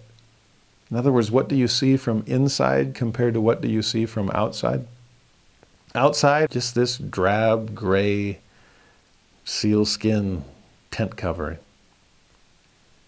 Oh, but if only you could see what I see on the inside of this. What did we see of Jesus? We talked about Leah, the tender eyed, that he too came to earth without any beauty where we would desire him. To think of the temple, I'm so grateful that they are made with such beauty in our day. And the Temple of Solomon was mind blowing. We'll get to that in the books of Kings. But to see this tabernacle, you, are going to have to have eyes to see. to really understand just how glorious and beautiful the house of God really is and the kingdom of God. Sometimes people, from their outside perspective, look at the Church of Jesus Christ of Latter day Saints and don't see much. Oh, come inside. And you'll be amazed at the, the, the blue and the purple and the scarlet that just adds such, such beauty to what we're trying to accomplish here. Well, he continues his description in verse 15 Thou shalt make boards for the tabernacle of shittim wood standing up. And then at length he describes those boards with length and width and tenons and sockets to, to hold them upright. This is, again, a, a, portable temple. So, how can we make things small enough that we can packet them up, load them on the backs of, of the Levites, and then move on to the next place God wants us to go? So here's the boards. Here's the things that are going to hold them up. Here's bars and clasps and all. If the if the the curtains need to be connected together, then the boards all need to be connected together so that we can con- construct this this house of God in the wilderness. By the time you get close to the end of the chapter, we're now in verse 30, he's explained all of this, and the Lord says, Thou shalt rear up the tabernacle according to the fashion thereof, which was showed thee in the mount. Do you see it, Moses? Can you picture my divine design? Then go down and tell the people and build it. Oh, if you think of Joseph Smith, yes, the church employs architects, past and present. And Truman Angell, for example, was a great blessing in temple construction in the early church. But who really knew what the Kirtland Temple was supposed to look like? Joseph Smith. Who really knew what the Salt Lake Temple was supposed to look like? Brigham Young, who said he kept seeing it in vision. Every time he looked at the spot where it was going to be built. Talking to my great uncle Bill, oh, yes, God is still the ultimate architect and does give inspiration to show people just how his houses are meant to look. In verse 31, Thou shalt make a veil of blue and purple and scarlet and fine twined linen of cunning work, cunning being detailed, incredible artistry here. With cherubims shall it be made. So the veil of the temple, in many ways, looks like it's an outgrowth of the temple itself that same inner covering of the tent of testimony. And now the veil to be able to pass through and enter the God's presence is going to be woven along the same lines. And like I said, there would be several veils. There would be the outward, the outer one to enter the holy place, and then an inner veil to separate the holy place from the Holy of Holies.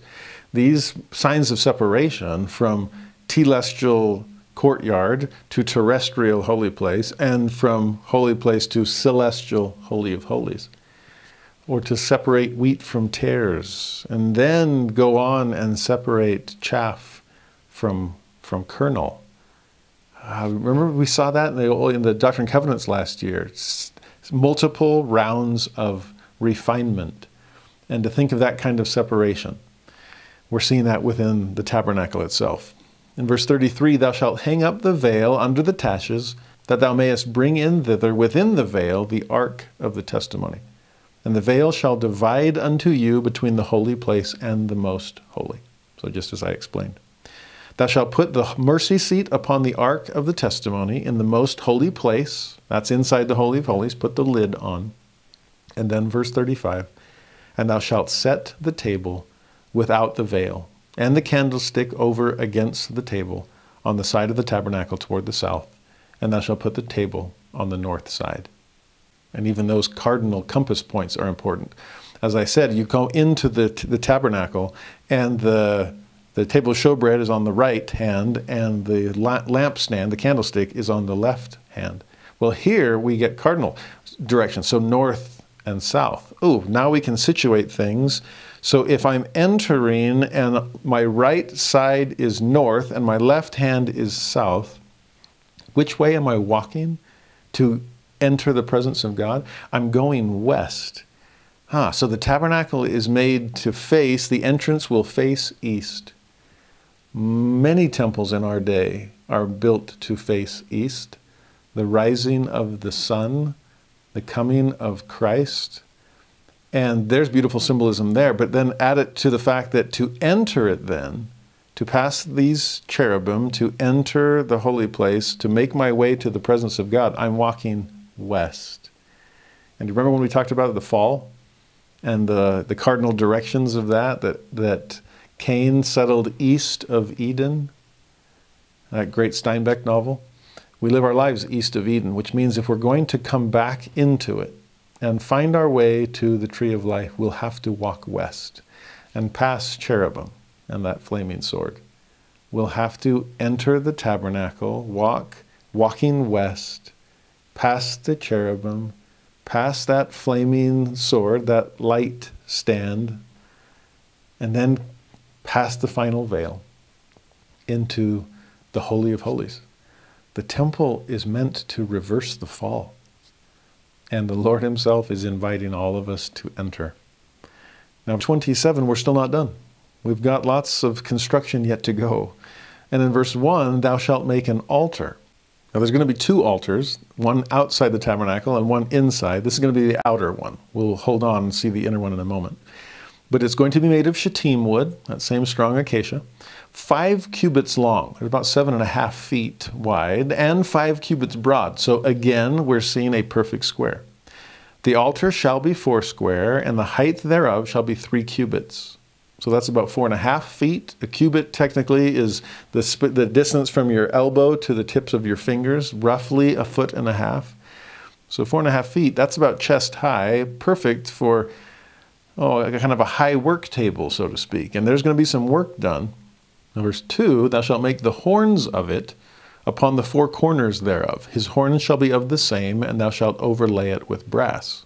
Now, by horns, he simply means the four corners of this square altar. This is going to be a sacrificial altar. The four corners will have some kind of an outgrowth, okay? A horn that sticks up and out. Although, as it said, it's supposed to be of the same. Make it part and parcel of the, the altar. Just like the cherubim were part of the lid of the Ark of the Covenant, just like the candlestick was all one thing. And so here, this is, this is part of the sacrificial altar itself. Now, horns are a great symbol of power and authority. You picture the horns on an ox or a bull or a ram and what they can do to, to defend their, the, the herd, uh, to, to establish preeminence. And so think about this authority growing out of this sacrifice. Hmm. If you think of, we'll actually see horns associated with Moses by the end of today's material in a really odd way. Uh, but to think of Christ as the Lamb of God, but also as the Ram of God. He is meek and lowly, but he's also powerful and strong with the authority of God. And his authority, his power, grows out of his own self sacrifice. I love Joseph's famous quote from the Lectures on Faith that a religion that does not require the sacrifice of all things never has the power sufficient to produce the faith necessary unto life and salvation. No, that faith has to be a natural outgrowth of the sacrifice God asks of us. And so to think of these horns on the altar and what gives us power, what gives us authority, what, what grants us faith is our willingness to sacrifice on behalf of others and sacrifice for Him who made the ultimate sacrifice for us. Beautiful, powerful symbolism here. To add to that, in verse 3, Thou shalt make his pans to receive his ashes, and his shovels, and his basins, and his flesh hooks, and his fire pans. All the vessels thereof thou shalt make of brass. Like I said earlier, this is a workplace. This is a site of sacrifice. And so making the, the sacri- these sacrificial offerings, and they're going to require the flesh hook and the fire pans and the shovels and basins and everything else. Make them of fine brass. It'll hold up a little bit better than gold uh, with all of the fire and work that's going to be taking place. But every detail is there. Sounds a lot like what we saw in the Doctrine and Covenants about the, the, the Kirtland Temple of organize yourselves and prepare every needful thing. God does seem to be thinking of everything here. And yes, there's going to be rings in the corners of the sacrificial altar and, and staves to go through that. It's ready to move at a moment's notice, just like everything else. Verse 8 As it was showed thee in the mount, so shall they make it. Better blueprints. Verse 9 Thou shalt make the court of the tabernacle. So this is going to be like the walls of Temple Square. we are now demarcating telestial space. Okay, we've got the Holy of Holies, that's where we started. We back out into the holy place. That's the next thing he taught us about. Now let's back out again and explain what the, the courtyard will look like. We always think of things in ascending order telestial, terrestrial, celestial. But for a God who always sees the end from the beginning, no, he goes celestial, terrestrial, telestial. Uh, he goes from the inside and then works his way back out. But this court of the tabernacle is described here. The south side southward, there shall be hangings for the court, a fine twined linen of a hundred cubits long for one side. And he's going to say the same for the north and the east and the west and everything else. Like I said, this is just carving out sacred space, even just on the telestial level. It's still a degree of glory. Uh, it's not outer darkness. And so come into this courtyard, come out of the wicked world and enter the kingdom of God. Here's the gate by which you must enter. We'll progress far beyond from there, but that's our first step. And in Exodus 27, he walks you through the whole thing how long and high the curtains are supposed to be and how to connect them all together and, and pillars and sockets and hook, hooks and fillets and all these kinds of things. There's actually some really great videos online you can find for a virtual tour of what the tabernacle would have looked like. Okay, so this is this outer court. This is Temple Square now. Then, verse 16, for the gate of the court, so how do I come into it? It shall be an hanging of 20 cubits of blue and purple and scarlet and fine twined linen wrought with needlework. So the entrance itself, how I start on this covenant path, is going to be marked by the same symbolism, the same attention to detail, the, the same artistry that the tabernacle itself was made with, and that the veil of the temple or the tabernacle was made as well. Then in verse 20, thou shalt command the children of Israel that they bring thee pure oil, olive, so olive oil, beaten for the light, to cause the lamp to burn always. In the tabernacle of the congregation, without the veil, which is before the testimony, Aaron and his sons shall order it from evening to morning before the Lord. It shall be a statute forever unto their generations on the behalf of the children of Israel. Pure olive oil hmm. beaten, crushed under intense weight. And so until this light giving oil comes forth. What's Gethsemane mean in Hebrew? Olive press, where Jesus, the light of the world, was crushed under the weight of such darkness that blood came from every pore. But that is what will give light and life to anyone else that finds themselves trapped in death or, dar- or darkness. And that's what Aaron and his sons will always make sure is, is found within the house of God a perpetual light. Think about what Abinadi said by way of his own testimony before his life was snuffed out by the priests of Noah. Speaking of Jesus, Abinadi said, He is the light and the life of the world. Yea, a light that is endless, that can never be darkened. Yea, and also a life which is endless, that there can be no more death. One chapter later, Abinadi would be killed. But to have that testimony on his lips, no, I'm looking towards a light that will never be darkened, and that's what was lit in the tabernacle. Aaron and his sons made sure of it. I know this isn't a biblical festival, but Hanukkah, uh, which is celebrated around Christmas time to this day in, in Jewish households, that took place during the intertestamental period, between the Old Testament and the New Testament. But it's called the Festival of Lights because it had to do with that candle stand and the responsibility to keep the light forever burning. And they didn't have enough light to they didn't have enough oil to keep that light going as they were trying to prepare new oil oil pure oil olive beaten for the light. Uh, the way that it's supposed to be made took time. And there was no way to to keep the light going until they could provide more.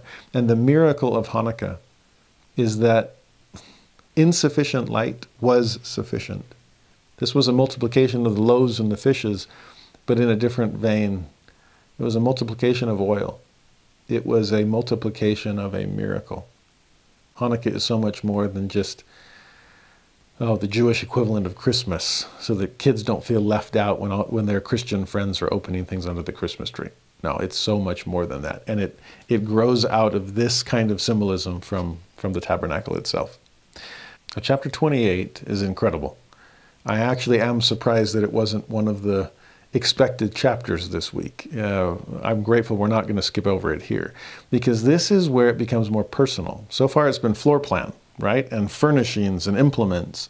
Well, now it's going to be, I mean, we just mentioned, we ended chapter 27 with a, a nod to Aaron and his sons. You're going to be working within the holy place. You're going to be performing these sacrifices at the sacrificial altar before the, you even come in. Well, what are you supposed to look like yourself? What should you be wearing? And chapter 28 is the best place I know of in Scripture to see the symbolism of the robes of the holy priesthood and to understand what Aaron and his sons were supposed to be wearing and what they were supposed to be realizing as they wore them. Oh, it's a beautiful chapter. It actually reminds me the first year I played football. Uh, I was older than most, and uh, I was finally getting a chance to play tackle, which is what I had wanted to do. But I remember the day they passed out our our pads. I knew where the helmet went; that was obvious, and I knew where the shoulder pads went. So so far so good. But when they passed out our, our football pants and all the pads that go with them, I had no idea where any of them went and I was feeling a little sheepish. And as I was kind of hanging back and waiting for other my teammates to start putting their pads in the right spots, so I would know where they went to at all. Okay, that's how clueless I was. And I'd look and I go, "Oh, knee pads. That makes sense. There's a little pocket in on the inside of the the football pants, and that's where your knee pad. Oh, thigh pads. Okay, I guess that's helpful too." Ah, hip pads. Am I going to get hit in all of these places? Oh, yeah, and then some. Uh, and then the tailbone pad. That was the one that was most confusing to me uh, of all. But to see, oh, okay, everything here is meant to accomplish something. And the same will be true of the uniform of priesthood service that we see in Exodus 28. Uh, maybe another analogy would be like a, a Letterman jacket. And when you see someone's Letterman jacket and you can kind of start putting together the pieces or solve the puzzle of oh i know what sport they were in or i know their interests of this. And there's there's just a lot you can learn about somebody just by looking at a uniform. Military might even be a better example of you know their rank. Uh, there's a lot of detail you can find about somebody just based on do you know what all of these things mean on a uniform? So with that in mind let's learn from exodus 28 that the priesthood is not just something that you bear, it's something that you wear. And if you can learn about the wearing of the priesthood, then I think it will come to mean so much more when it's your turn for the bearing of the priesthood. So, verse 1 Take thou unto thee Aaron thy brother and his sons with him from among the children of Israel, that he may minister unto me in the priest's office even Aaron, Nadab, Abihu, Eleazar, Ithamar, Aaron's sons. Notice these priesthood holders are being taken from among others within the house of Israel. There is a setting apart, a difference that's going to be made here. A higher standard they must fill. In verse 2, thou shalt make holy garments for Aaron thy brother, for glory and for beauty. You'll see those words come up a few more times today glorious, beautiful. Sound like creation? Sound like what God is making of the earth and what He's trying to make of His servants upon the earth? In verse 3, thou shalt speak unto all that are wise hearted, whom I have filled with the spirit of wisdom, that they may make Aaron's garments to consecrate him, that he may minister unto me in the priest's office. We usually think of priesthood being meant to minister to other people. And yes, it does that. But twice already in this chapter, we've seen that it's meant to minister unto the Lord. First great commandment, second great commandment. Do we see our service doing both of those? And again, this in, the, in their case, this was priesthood ordination of the sons of Aaron. In our case, we can be set apart for service toward others and service to God. It's all the same, King Benjamin would tell us. And that's both a male and a female thing. Okay? Setting apart is for both. Priesthood ordination is only for men, but functioning under divine authority. Sisters, I hope that you see that this chapter will apply to you just as much as to the brethren. But you see what's going into their clothing in verse 3? Oh, these glorious, beautiful garments. You need to be filled with wisdom, the spirit of wisdom, if you're going to help in, in making them. It's going to come from people who are wise hearted, which is an interesting juxtaposition. I think we usually think of wisdom being a, a, a mind thing, whereas here it's a heart thing. And so combining wisdom and spirit, combining heart and mind, all of these things must go into our own consecration. Am I giving all I can to God? In verse 4, these are the garments which they shall make. And they're all explained here in this chapter a breastplate, an ephod, a robe, a broidered coat, a mitre, which is like a hat, a cap, and a girdle, which would be like a sash. And they shall make holy garments for Aaron thy brother and his sons, that he may minister unto me in the priest's office. Now, is that the third time we've seen that phrase? I counted. Sure enough, ministering comes up in one, verse 1, 3, 4, 35, 41, 43. These are clothes to minister in, not just to be seen of man. In a way, these are work clothes. And yes, we have our work cut out for us. The temple is a place of temple work as well as temple worship. And who better to do it than those who are clothed upon, covered their nakedness, given holy garments of glory and beauty that include robes and mitres, caps, and girdles, sashes, trying to help people feel prepared. Look in the mirror, and what you wear is meant to teach you about what you bear. So let's learn about it. Verse 5 They shall take gold and blue and purple and scarlet and fine linen. Sound familiar? Our ministry should reflect the house of Him we serve, made from the same materials. The tabernacle itself was mobile, but we have even greater agility ourselves. And like Paul will say, that ye are the temple of God, well, that sure looks like it. You are clothed in the same things the temple is. Verse 6 They shall make the ephod. Now, the ephod is a kind of apron that was worn over the robe. So think of an apron of sorts and picture what it looks like. It's of gold, of blue, of purple, of scarlet. God really seems to like those colors and all that they signify. Fine twined linen with cunning work. So, like everything else in the temple, it is detailed, it's artistic, takes an incredible amount of wise heartedness to make this. It shall have the two shoulder pieces thereon, joined at the two edges thereof, and so it shall be joined together. So this is an apron that, the, in, the, in their case, actually went up over the shoulder as well to kind of keep it all together. In verse 8, and the curious girdle of the ephod, which is upon it, shall be of the same according to the work thereof, even of gold, of blue, and purple, and scarlet, and fine twined linen. So the curious girdle, not curious like, huh, that's weird, but curious like intricate and de- again detailed. Like, wow, it's like the, the Liahona, curious workmanship. This is incredible. I mean, Nephi knew how to make tools and, and shape iron and was fascinated by the sword of Laban. But man, this thing is curiouser and curiouser. It's so intricate. I can't imagine who was able to design and build this thing, well, far beyond mortal standards or specifications. Same thing here this curious girdle, this sash, this girding up of the loins to keep this ephod, this apron, in place. In verse 9, thou shalt take two onyx stones, a precious stone, and grave or engrave on them the names of the children of Israel six of their names on one stone, and the other six names of the rest on the other stone, according to their birth. Verse 12 And thou shalt put the two stones upon the shoulders of the ephod, for stones of memorial unto the children of Israel. And Aaron shall bear their names before the Lord upon his two shoulders for a memorial. Now, can you picture with eyes to see what, what am I wearing and what does it say about what I'm bearing? We talk about bearing burdens, right? And that's, ah, the shoulder, that makes sense. Uh, to think about the back is one good symbol for a burden, the backs of the oxen, right, with the baptistry.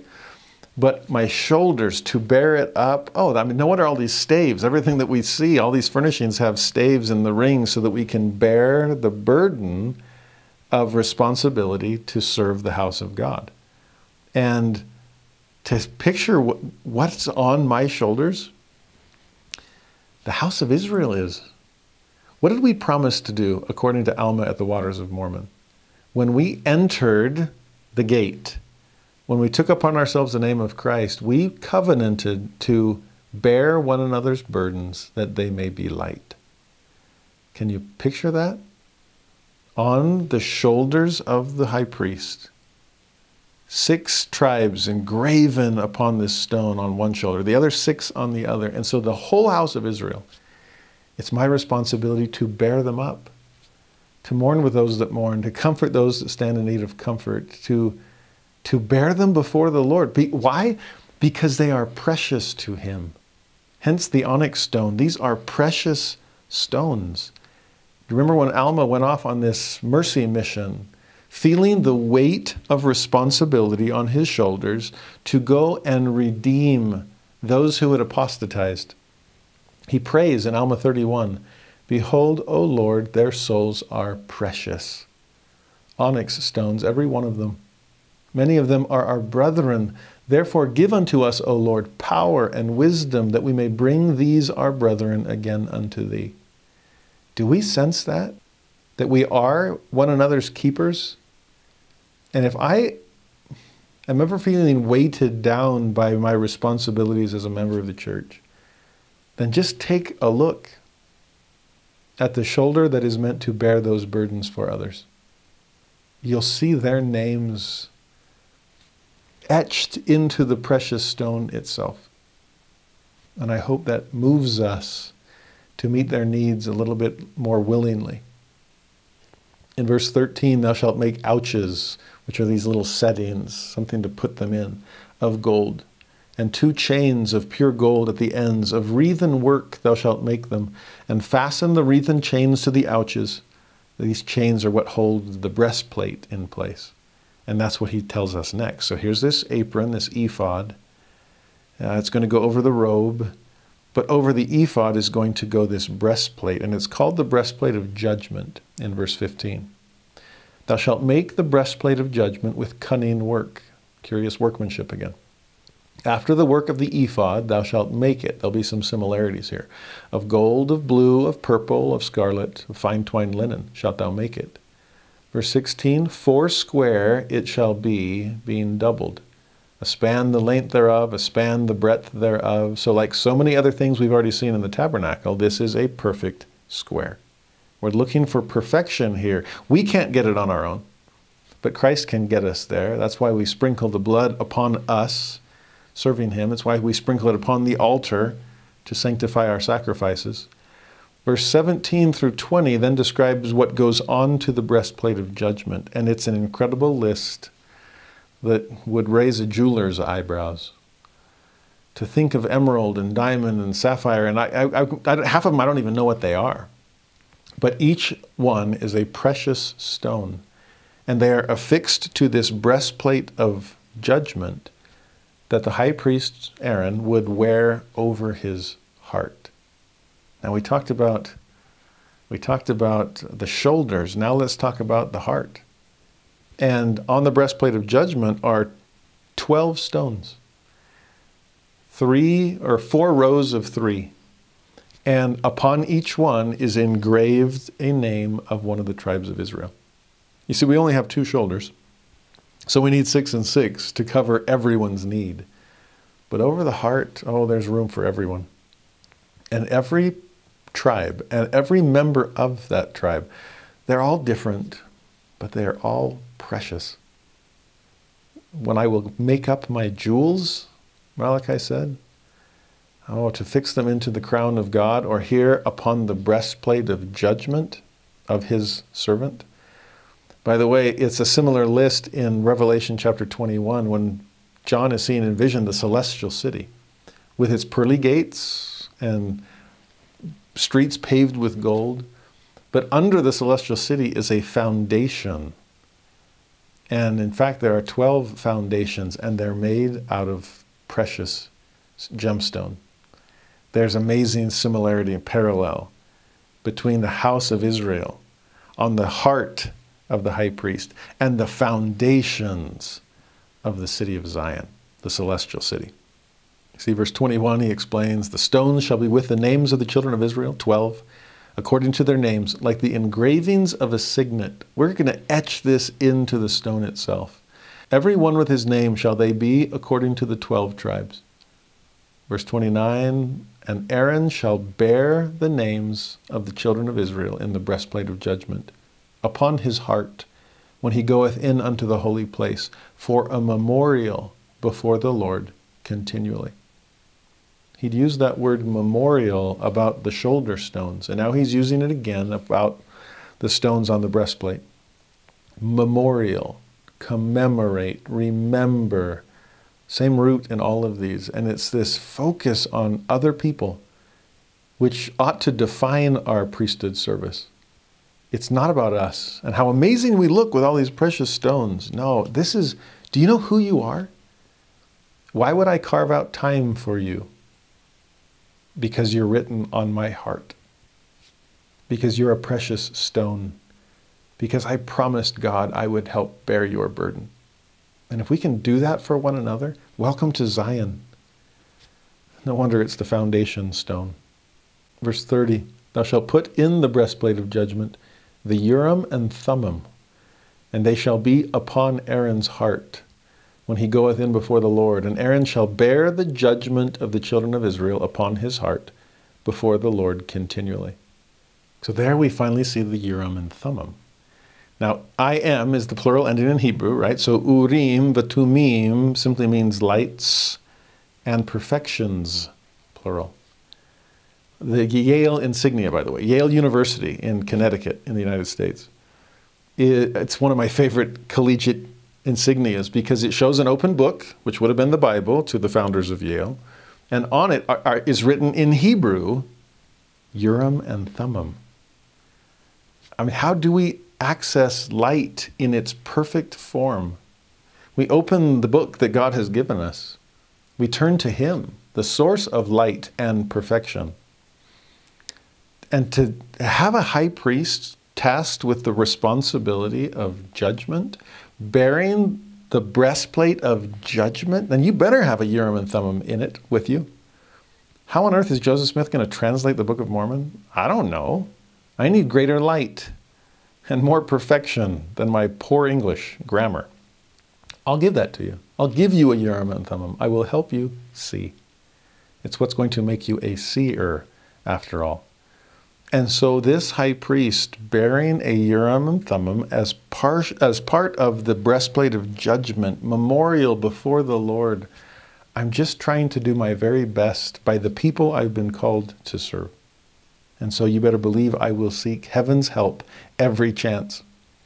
I need light and perfection because I can't produce it on my own. In verse 31, thou shalt make the robe of the ephod all of blue so this is the robe we're going to wear underneath the ephod. There shall be an hole in the top of it, in the midst thereof. It shall have a binding of woven work round about the whole of it. We would call that a collar. As it were the whole of an habergeon, that it shall not be rent. So picture this, if you will. Uh, we sometimes wear ponchos in the rain, and a poncho is basically just a long, big rectangular cloth or piece of plastic in some cases, but it has a hole cut out in the middle, and you just stick your head through and it drapes over you forward and back. Uh, a habergeon, by the way, is a coat of chainmail, which again would have just been a big rectangular piece of woven metal to protect you from the swords and spear points of an enemy. And you put it, there's a hole in the middle, and you put your head through, and it covers you. It protects you. It atones for you. That's what covering does, right? And I love that imagery of chainmail because it is a real war with real casualties, as Elder Maxwell once said. That we're up against an enemy of all righteousness, and it's the powers of, of darkness in high places that we're up against. This is part of the armor of God. And so as I clothe myself, the breastplate of judgment in Aaron's case, the breastplate of righteousness for Paul in the, in the armor of God. But I'm, I'm geared up for battle. So here I am in this robe of the holy priesthood, a collar to keep it from fraying, that it be not rent, it says. You don't want this to tear. You don't want chinks in your armor. You want to be completely covered here. And so they weave this in verse 33 is another really interesting detail about this robe. Beneath, upon the hem of it, so now the bottom edge of this priestly robe, make pomegranates of blue and of purple and of scarlet round about the hem thereof, and bells of gold between them round about, a golden bell and a pomegranate, a golden bell and a pomegranate upon the hem of the robe round about. Now, there's a famous picture painting of, of Moses laying his hands upon Aaron and ordaining him. And it's one of the best pictures I've seen to help us visualize just what Aaron is wearing while he's bearing the priesthood. And it shows really well the breastplate of judgment, the ephod underneath. Uh, but part of the things that we never seem to notice is take a look next time you see it at the hem at the bottom of it of the robe. And sure enough, there's little woven pomegranates there, alternating with golden bells. Now, what on earth is going on there? I actually love this one because the pomegranate is a beautiful symbol of, of fruitfulness. Because crack it open and what do you see? It's filled with seeds. In some ways, that's all it is. Open inside a pomegranate, it's just seeds. It, it's, it has, it's a symbol of fertility, of fruitfulness, of new life, I think I mentioned this in, the, in our episode on the fall, that sometimes it's even imagined, rather than an apple, we don't know what the forbidden fruit was. Most people just assume it was an apple. I have no idea why. But others have suggested actually maybe it was a pomegranate uh, in all of its symbolism for being able to have seed, since they couldn't have posterity until after they'd partaken of the fruit. Interesting. So those who are made to bear the priesthood, the authority of God to serve his children, how fruitful are you in your service? Are you, is your whole, the hem of your garment lined with pomegranates? The woman with the issue of blood, when she touched the hem of Christ's garment, oh no, there wasn't a pomegranate woven on the edge, but virtue, life, fruitfulness flowed out of him and into her. Is that the way we live our lives? Are we able to do that? And bells? Oh, golden bells. Well, on the one hand, no high priest would ever be able to sneak up on anybody. Because everywhere they go, you're going to hear them coming. I love the sound of church bells. I love the sound of the Muslim call to prayer. I love religious music. Anything that calls my ears to higher and holier thoughts and feelings. And to picture the high priest going about his work, his service, and bells ringing everywhere that he goes. There's just something, I don't know, fitting about that to me. Verse 35 It shall be upon Aaron to minister, and his sound shall be heard when he goeth in unto the holy place before the Lord, and when he cometh out, that he die not. Which is such a weird way to end that verse. Uh, we talked about this when we did our Easter lesson, but is that a hint that points toward that much later tradition that you better tie a rope around the high priest's ankle to drag them out of the holy of holies if something goes wrong on the day of atonement? That he not die there since no one can go in after them. Again, we don't have any evidence in the scriptures that's what they did, but that verse does seem to point in the direction of of what that tradition is, is, is speaking to. Okay? Anyway, go back to verse 36, and we have another piece of clothing to focus on. This is the mitre, the, the hat, the cap. Thou shalt make a plate of pure gold, and grave upon it, like the engravings of a signet, holiness to the Lord. Now, where have you seen that engraven in gold before? And thou shalt put it on a blue lace, that it may be upon the mitre Upon the forefront of the mitre it shall be. Now, think about this. Here's this hat, this cap that Aaron, the high priest, would wear. And there is this metal piece that is put on a blue lace and tied around the forehead. It's on the forefront of the mitre, which means you look at a high priest, and what's on his forehead, just etched in, in, in gold, holiness to the Lord. Well, from the high priest's perspective, what's on my mind? What ought to be on my mind at all times? Holiness to the Lord. And if I'm thinking about that, then of course I'm going to serve Him faithfully and worthily. Of course, I'm going to bear up the burdens of others. Of course, I'm going to bear them upon my heart. Of course, I'm going to seek God's guidance through that Urim and Thummim and to His glory. It's not, it's never about me. I've, I've yet to give myself a priesthood blessing. But when holiness to the Lord is on my mind, then I am in a better place to be able to give blessings to others. In verse 38, it shall be upon Aaron's forehead, that Aaron may bear the iniquity of the holy things. Interesting. He's in some ways now stepping in as a, as a sacrificial offering, a substitute for someone else's sin to bear the iniquity of the holy things, which the children of Israel shall hallow in all their holy gifts. And it shall be always upon his forehead, that they may be accepted before the Lord. You see how these high priests can bear the iniquities of the people to the Lord without becoming iniquitous themselves? Or that they can hear about the sins of others without becoming sinful in their own thoughts? Well, it's because holiness to the Lord is always on their mind. Great phrase in Titus in the New Testament that to the pure, all things are pure. And so, if you have holiness to the Lord on your mind, then you will not entertain someone else's sins when they are confessing them to you. No, you'll see past them to a broken heart and a contrite spirit that you want to bring to God. Holiness to the Lord on the mind has to be there. It will allow you to see other people's temptations without being tempted in similar ways.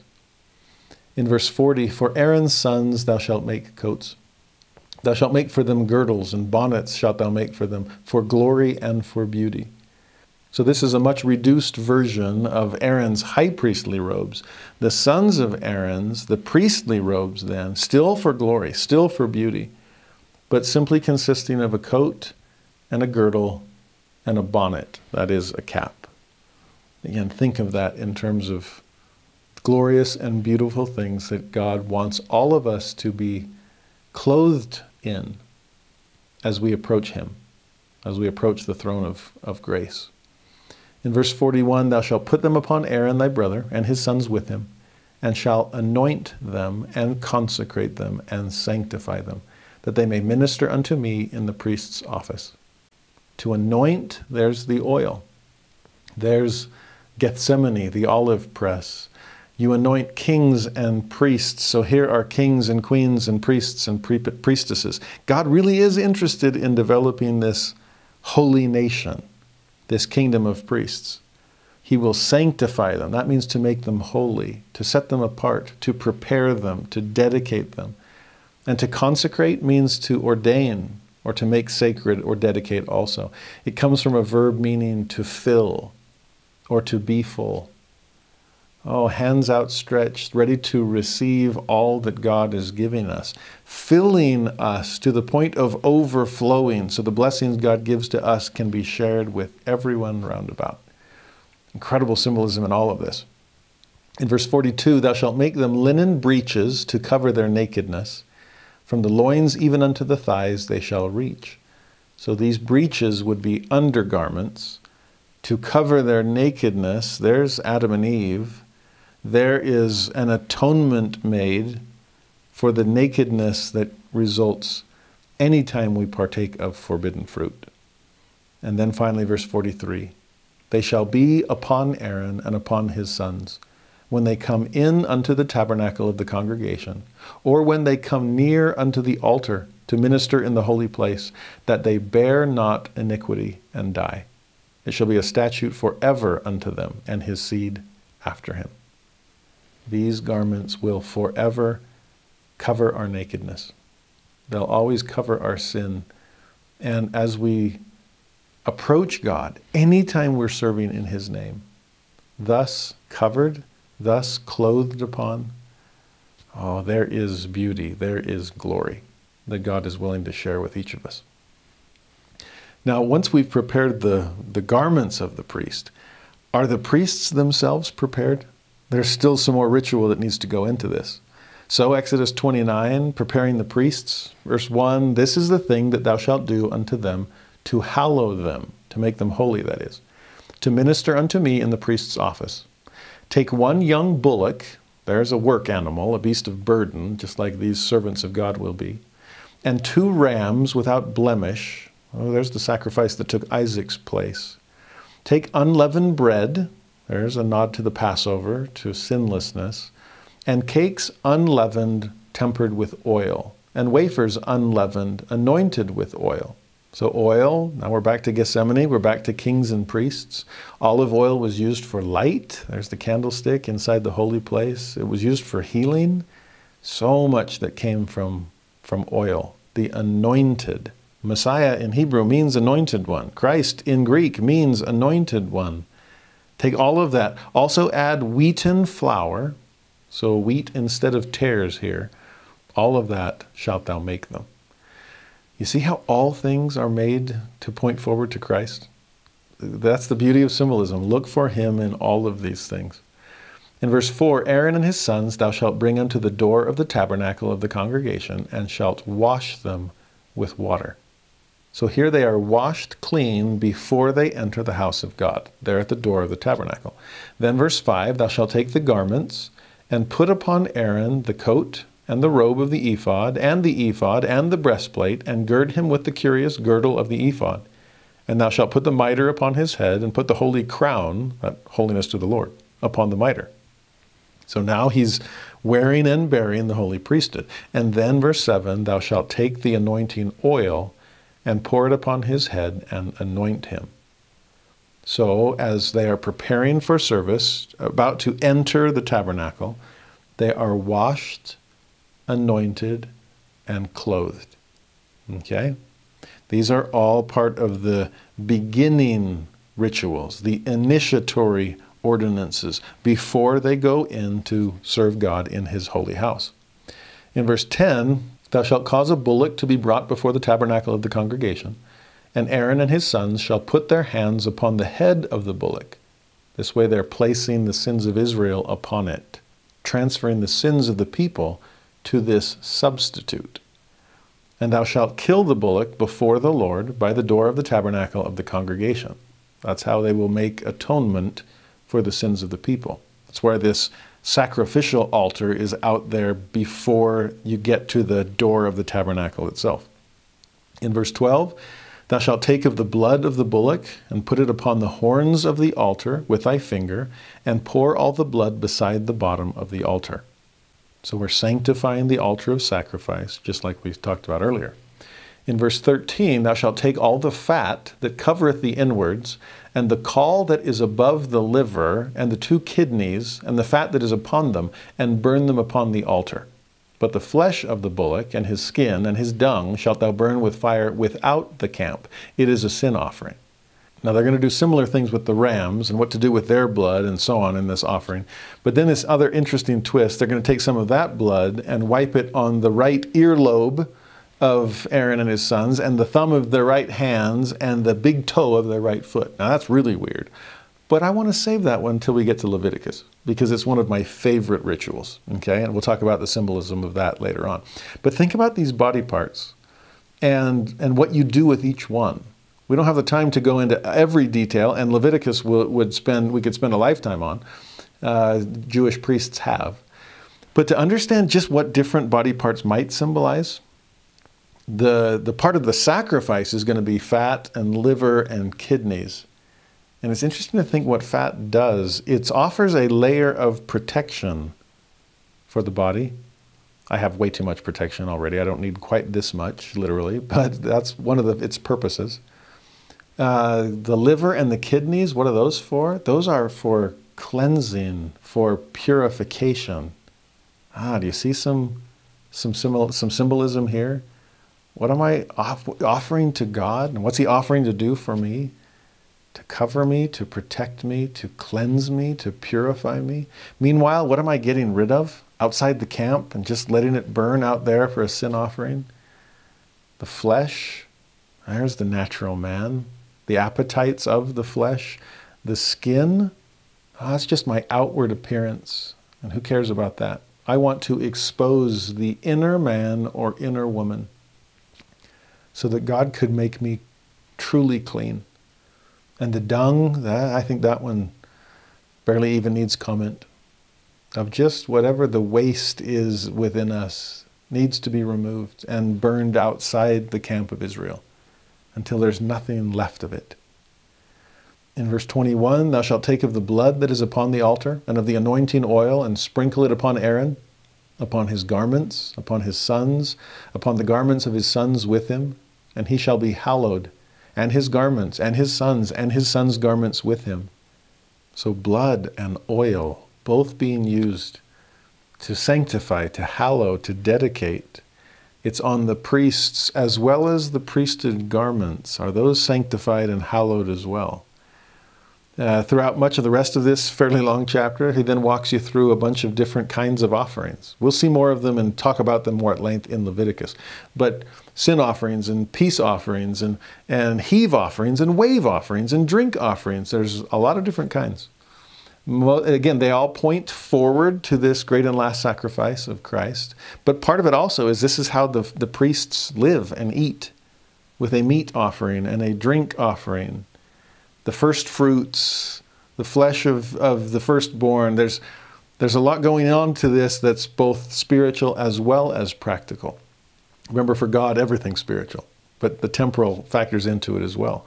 It talks about it being passed down the generations to posterity through Aaron and his sons.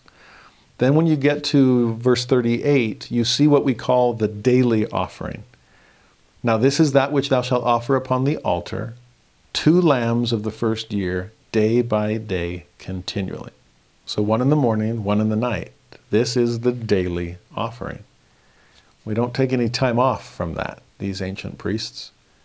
Christ certainly never took any time off from atoning for our sins.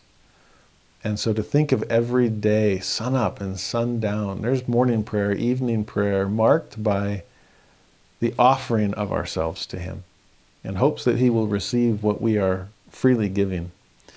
Verse 42 This shall be a continual burnt offering throughout your generations, at the door of the tabernacle of the congregation before the Lord, where I will meet you to speak there unto thee. Do we realize what God is offering to do when we approach Him in His holy house? He wants to meet us there. He wants to speak to us there. Take some time the next time you're in the celestial room. You made it into the Holy of Holies, so to speak. And it is there before the mercy seat that we can commune with God. So let's do a little more communing. In verse 43, there I will meet with the children of Israel, and the tabernacle shall be sanctified by my glory. You've been doing all of these sacrificial rituals and sprinkling blood and anointing with oil and the altar and the people and the priests and the garments of the priests. I'm trying to sanctify you. And my presence in the temple, I, I call temples epicenters of holiness that just begin to spread out the moment that they're dedicated. That seems to be what's happening here. Then, verse 44 I will sanctify the tabernacle of the congregation and the altar. I will sanctify also both Aaron and his sons to minister to me in the priest's office, and I will dwell among the children of Israel and will be their God. I just want to live here with you. Can we be neighbors? Are you willing to build me a house surrounded by your houses? I want to be part of your life. Finally, verse 46 They shall know that I am the Lord their God that brought them forth out of the land of Egypt, that I may dwell among them. I am the Lord their God. We saw that through the plagues of Egypt a few weeks ago. This is God introducing himself to a Pharaoh that refused to, to come to know him. Well, will we? That the service we render, the priesthood we wear and bear, the house of God that we are trying to become as well as trying to worship in. Those are all ways for us to come to know the Lord, our God, and to make him our God. He's trying to make us into his people. Now, there's going to be more instructions in chapter 30. We still haven't even finished all of the inner furnishings. And so the first one he's going to talk about is the incense altar. We've been talking about the altar of sacrifice on the outside of the tabernacle. There's a second, much smaller altar inside the tabernacle, right before the veil. Remember, we're going west. We pass the cherubim. We have the table of showbread on our right to the north. We have the, the candlestick providing light to our left uh, from the, from the south. And there to our west, right before we get to the, the veil, is this altar of incense. Picture the smoke rising to heaven, filling the tabernacle with its sweet savor. Verse 1 Thou shalt make an altar to burn incense upon. Of shittim wood shalt thou make it. A cubit shall be the length thereof, a cubit the breadth thereof. Four square shall it be, and two cubits shall be the height thereof. The horns thereof shall be of the same. Are we starting to see the repeated symbolism? We're starting to recognize these common elements here. Yes, it will have rings. Yes, it will have staves. Yes, this needs to be ready to move at a moment's notice as well. Verse 6 Thou shalt put it before the veil that is by the ark of the testimony, before the mercy seat that is over the, the testimony, where I will meet with thee. And Aaron shall burn thereon sweet incense every morning. When he dresseth the lamps, he shall burn incense upon it. He's going to burn incense in the evening as well. So, morning and night sacrifices, morning and night sweet smells, morning and through the night light. Honestly, walking into the tabernacle would have been a feast for every sense. The sights, the sounds, the smells, filling God's house. Oh, it's an incredible, incredible place that we're trying to create here. And what does this all represent? In Revelation chapter 8, verse 3 and 4, another angel came and stood at the altar, having a golden censer and there was given unto him much incense, that he should offer it with the prayers of all saints upon the golden altar which was before the throne. And the smoke of the incense, which came with the prayers of the saints, ascended up before God out of the angel's hand. See, John is having his temple vision there also. And here's this angel at the incense altar. Are you ready to follow me in? Oh, I don't know if you've ever smelled bad and just been really feeling really awkward around other people. I just hope they don't smell. Ah, and that's something that's really hard to, to distract people from or hard to hide. Some, well, we can cover our nakedness. I guess we can cover our stench.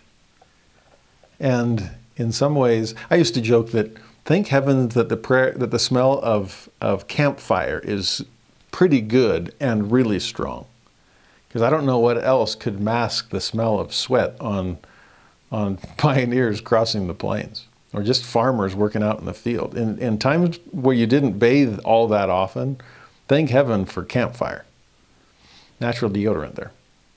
Well, in this case, thank heaven for incense that can serve to cover the stench of sin. I do want to enter God's presence. Am I worthy to? I pray I am and that's the prayer ascending to heaven. That's what makes incense and the smoke that rises from the incense altar such a perfect metaphor for the prayers of the saints. That's what's rising heavenward. That is what's giving this sweet savor. I mean, incense to this day is used in many churches. When the older the church, the more likely there'll be incense.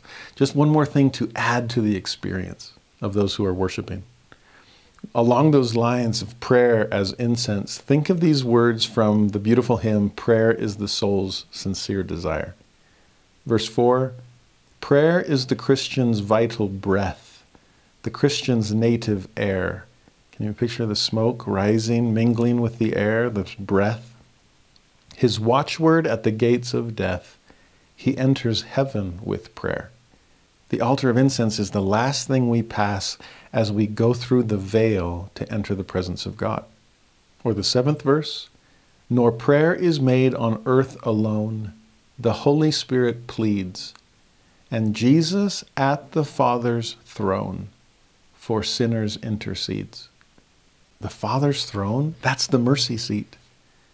And here we are pleading to God that Christ might intercede on our behalf. The Spirit pleading with us and for us. This smoke rising, filling the tabernacle. Verse 8 When Aaron lighteth the lamp at even, he shall burn incense upon it, a perpetual incense before the Lord throughout your generations. Sound like pray always that you may come off conqueror? Then in verse 10 Aaron shall make an atonement upon the horns of it once in a year with the blood of the sin offering of atonements. Once in a year shall he make atonement upon it throughout your generations. It is most holy unto the Lord. So an atonement is made for the incense altar? Ah, that's fascinating. I think often we picture praying in order to invoke the atonement. But flip it around. And now you're invoking the atonement in order to improve your prayers? Is that something we need help with? I, I know I do. And to learn to speak with God in a manner that does justice to the identity of my conversation partner. Uh, yes, it requires atonement even for that. Now, the next few verses, he's going to talk about ransom, atonement money, paid to ransom the firstborn in all of these families. Uh, we're going to actually see more of that next week, so I'm going to hold off on those verses and keep the flow of the furnishings of the tabernacle. Because when you get to verse 17, here's the next thing they're supposed to build it's the brass laver. Uh, we would look at it and probably think of a baptismal font. But in verse 18, it says, Thou shalt also make a laver. Now, lavar in Spanish means to wash, and so it's the same root here. This is a washing place. Make a laver of brass, and his foot also of brass, so the stand that it sits in, to wash withal. And thou shalt put it between the tabernacle of the congregation and the altar, and thou shalt put water therein. For Aaron and his sons shall wash their hands and their feet thereat. There's a famous verse that talks about, Be ye clean that bear the vessels of the Lord. That's what's happening here. And so, are we worthy to officiate? Are we worthy to act in God's name? Are we clean? Have we been washed? And notice the, the layout of all of this. The laver was between the tabernacle and the altar.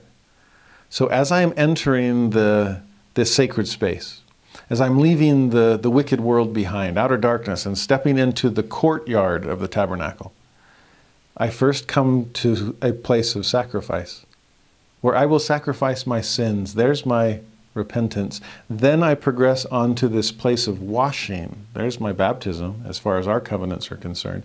And now that I have repented and been baptized, I am ready to enter the house of God so that I can fully make covenants, to see the light of Christ. There's Holy Ghost, the table of showbread, renewing covenant, the prayers of the saints ascending to heaven as I prepare to enter his holy presence.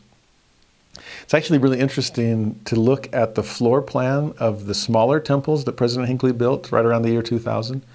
The Nashville temple was ours when we lived in Tennessee, and just to see the way it was all laid out. Now, it's a little different because you enter from the side, but if you were to look at the long axis of those temples, it is a straight and narrow path with the baptismal font at one end and the celestial room, the Holy of Holies, at the other. And so to think of sacrifice, even to enter, cleanliness as you approach, and then continuing to make these ordinances until you have entered the presence of God. Oh, architecturally, this is amazing. The rest of chapter 30 then deals with two other items that were necessary holy anointing oil and then perfume. So we're back to smells now, beyond all of these sights and sounds. The holy anointing oil was made of cinnamon, calamus, cassia, olive oil, and myrrh. And they were supposed to anoint everything. You read between verses 22 and 33, and it talks about all this anointing oil, and they anoint the tabernacle, the Ark of the Covenant, the candlestick, the table of showbread, the incense altar, sacrificial altar, laver, Aaron, his sons, everything gets anointed. Verse 29 says, Thou shalt sanctify them, that they may be most holy. Whatsoever toucheth them shall be holy. We see a lot of this in the New Testament, this fear of the communicability of sin or guilt, the, the contagion, we should say. That, oh, you can't touch a woman with the issue of blood. You can't touch a leper. Well, Jesus touches them both. And, and he doesn't become impure on their account. They become pure on his. And so, with this holy anointing oil, made of all of these sweet savors, all these kind of prayers mingling together, this is to sanctify and to make holy God's servants. And everything they touch turns holy as well. And then the perfume from 34 to 38. Like the anointing oil, it's made of sweet spices, some of which I've never heard of stacte and onycha and galbanum. Now, one I have heard of frankincense. And since we saw myrrh with the holy anointing oil and frankincense as one of the ingredients of the perfume, oh, and then gold in like every tabernacle implement and furnishing gold, frankincense, and myrrh. What am I thinking? Along with all of you fellow Christians, I'm thinking Christmas. And wise men that were wise enough to recognize in this child a king of kings, here's your gold. A lord of lords, here is your frankincense. It's used in worship, prayer, saints ascending. And here is your myrrh, which was used in sacrifice. King and God and sacrifice, as they say in We Three Kings of Orient are. And Jesus was all of those. Oh, it was used to anoint the high priest in ancient Israel, but for a young Jesus, it was used to honor the high priest of good things to come. Now, this perfume was placed in one, in one spot, and that was before the Ark of the Covenant. So that, that's the one place you would smell it. I don't know about you, but smell to me has such a power to invoke memory. It could be something I haven't smelled in ages, and all of a sudden I'll catch a whiff of something and I'm brought right back to where I smelled it once before. Like this was my grandma's lotion, or this was the perfume my wife wore when I first met her. Just these powerful smells. And to think to have a smell associated solely with the presence of God come in on the Day of Atonement if you're the high priest, and come in before the Ark of the Covenant. And that perfume, oh, it's it's God, it's Him. I'm here. And what a powerful thing not to use that perfume anywhere else. Let's not dilute the experience by having it associated with lesser things. This is God and God alone. Ah, this is amazing. Now, that, there we have, we've covered a lot today already, okay? And we still have a few more things that we need uh, to focus on. By the time you get to chapter 31, the, the layout has been described. We've seen the, the blueprints. We got the thousand words to replace the, the one picture of a blueprint. But let's put it all together. Exodus 31, verse 2, the Lord says, See, I have called by name Bezaleel, the son of Uri, the son of Hur, of the tribe of Judah. And I have filled him with the Spirit of God, in wisdom and in understanding, in knowledge, and in all manner of workmanship. So he's going to be our chief architect. He's the one that's going to help really put all of these things together and make the, the curious workmanship all come into, into play. Now, his name is perfect for this. Bezaleel means in the shadow of God. And since this is a tent of testimony, who better to create a shadow from the heat of the day than Bezaleel? Think of this verse in Isaiah chapter 4. There shall be a tabernacle for a shadow in the daytime from the heat. Bezaleel would love this verse. And for a place of refuge, and for a covert from storm and from rain. Oh, those seal skins to waterproof it these layers of covering, all to cover us from the consequences of our sin. Yes, Bezaleel, you are filled with the Spirit of God. God has called him by name. Multiple reasons there. Wisdom, understanding, knowledge, workmanship, it all goes into his qualifications. Nobody better to do it.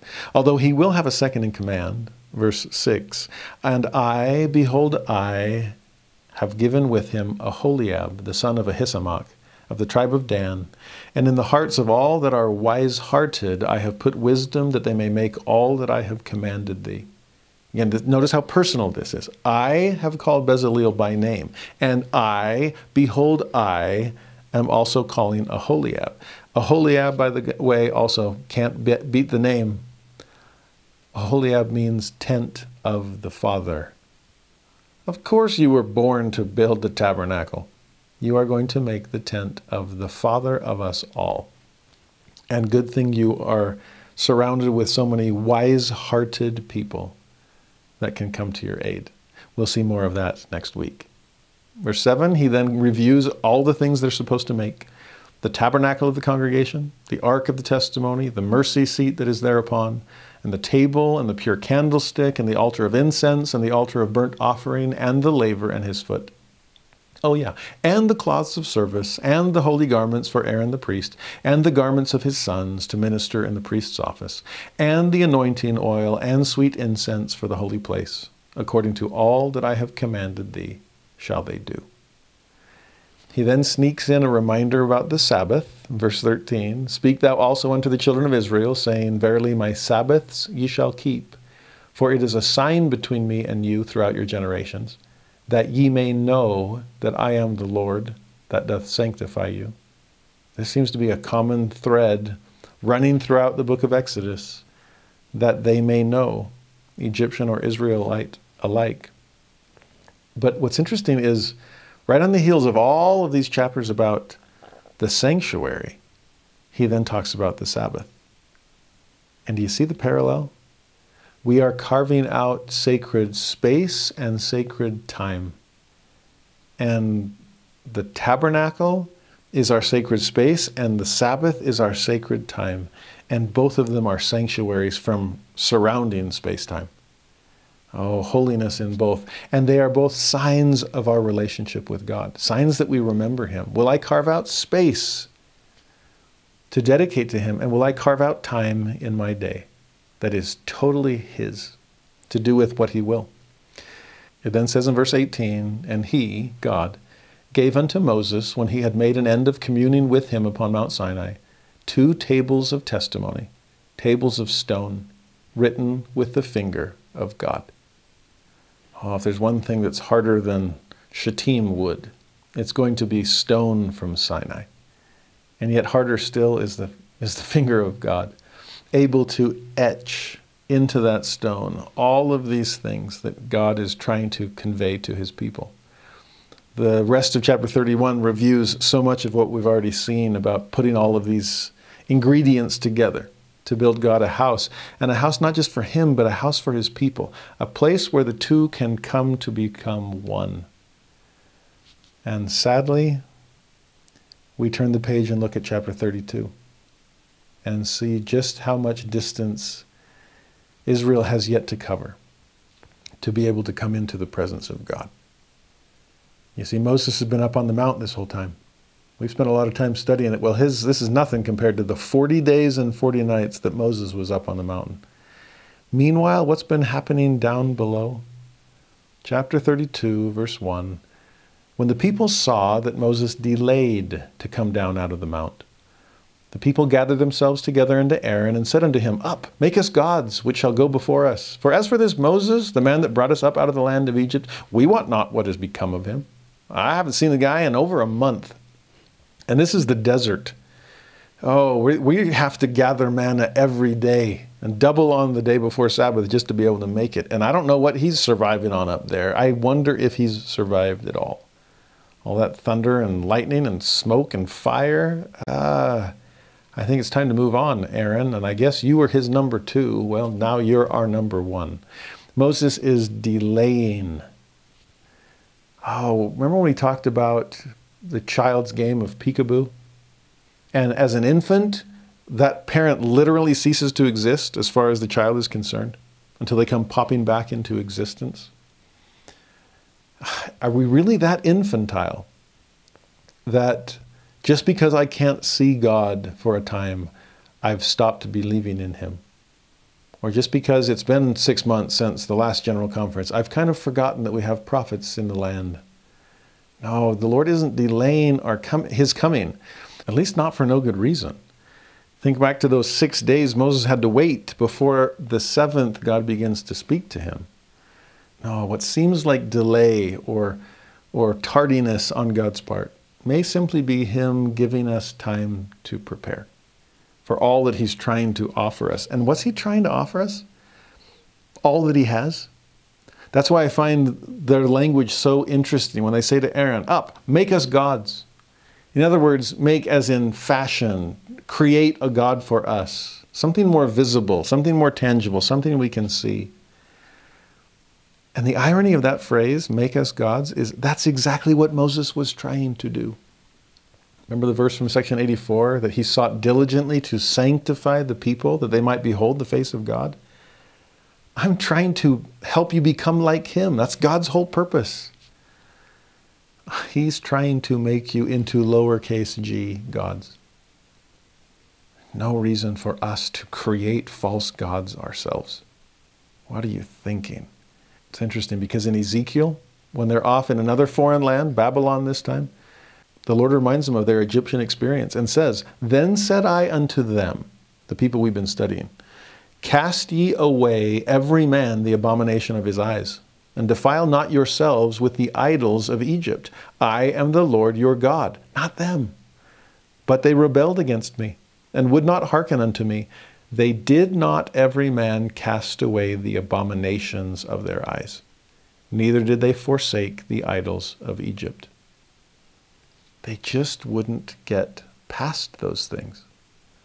We've said it before. It was so much easier getting Israel out of Egypt than getting Egypt out of Israel. And here you see it. They wouldn't cast away their abominations, they wouldn't forsake their old idols. And I'll admit, old habits can die hard.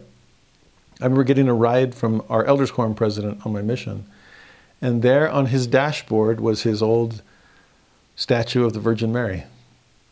Oh, he was a great Latter day Saint, but he'd been a Catholic a lot longer than he'd ever been a Latter day Saint. And yes, that old, oh, belief was hard to give up. And so here you have these Israelites. We need visible, tangible gods to worship. And I don't even know where Moses went. Uh, this is sheep without a shepherd. This is children without a parent. These are followers with no leader to follow. And we need something. So Aaron says to them in verse 2 Okay, fine, I'll do it. Break off the golden earrings which are in the ears of your wives, of your sons, of your daughters, and bring them unto me. Now there's immediate acquiescence on Aaron's part. Oh, you want me to make you gods? Okay, well, give me your earrings. And so they do. They give him, him the earrings, and then verse 4 He received them at their hand and fashioned it with a graving tool, after he had made it a molten calf. And they said, These be thy gods, O Israel, which brought thee up out of the land of Egypt. Now we need to understand something here that some wise scholars have pointed out. That we usually jump to conclusion and just think, oh, these horrible Israelites are creating pagan gods because Back in Egypt, that's all we had a god of the Nile, and a god of frogs, and a god of bulls, and a god of everything else. And so let's make our own. And we like the, the bull idea, so let's make a young one and, and we'll make it a, a molten golden calf. Well, actually, what's interesting, even in the way they phrased it, these be thy gods, in Hebrew, these be thy Elohim, O Israel. And we'll see in just a moment the invocation of Jehovah right alongside it. So some scholars have pointed out perhaps that's not pagan gods that they are trying to credit. They are trying to credit the true God of Israel. He's the one that brought us out of the land of Egypt. And we are using sacrificial animals as proxy in some ways. We, we talk about the, the lamb without blemish, the ram that took Isaac's spot. Well, here is a a bull, even stronger, mightier. Uh, Elohim is sometimes pictured as a bull, and if Jehovah is the Son of God, then a calf? Is this a representation of the true God? It's possible. And in fact, according to some of the surrounding nations, the belief was that the true God, their gods, rode upon the backs of wild animals or domesticated animals, upon the back of lions or the back of bulls. And so maybe this golden calf isn't even meant to be God, but rather God will ride upon it. I mean, the cherubim on the lid of the Ark of the Covenant, there's the throne of God, and he would sit there upon it. So, are they, I mean, is Aaron doing the best he can? Are the people not utter pagans, but, but children? And needing something more, again, tangible, visible to focus their faith? Interesting possibilities here. The real problem comes in verse 5. When Aaron saw it, he built an altar before it. And Aaron made proclamation and said, Tomorrow is a feast to the Lord. And that word was is where we get Jehovah. Uh, so it's the true Lord they're trying to make a feast to. Well, they rose up early on the morrow and offered burnt offerings and brought peace offerings, and the people sat down to eat and to drink and rose up to play. Now, play there is to laugh, to mock, to sport. It sounds a lot like Laman and Lemuel on the boat once they'd been out at sea long enough to realize that we might actually make it. Uh, they were really humble when they first launched, and I can't blame them. It's like we're going to die because Jerusalem was landlocked and Nephi's never built a ship before. But once it's proven, it's like, okay, we're good. And now we can forget the Lord our God that we've been so reliant upon a few moments ago, and we can eat, drink, and be merry because tomorrow we're not going to die. Well, here's, we're starting to see this. The problem whether it's pagan false gods or a true God, part of it is making a graven image. God had said in the Ten Commandments that's a no no. Perhaps a bigger problem, since we do have sculptures and paintings of things that are holy, and that seems to be okay. What the Lord had said in the Ten Commandments was not just don't make them, but don't bow down, down to them, don't worship them. Don't replace the invisible God with something visible that keep that takes your eye off the real thing.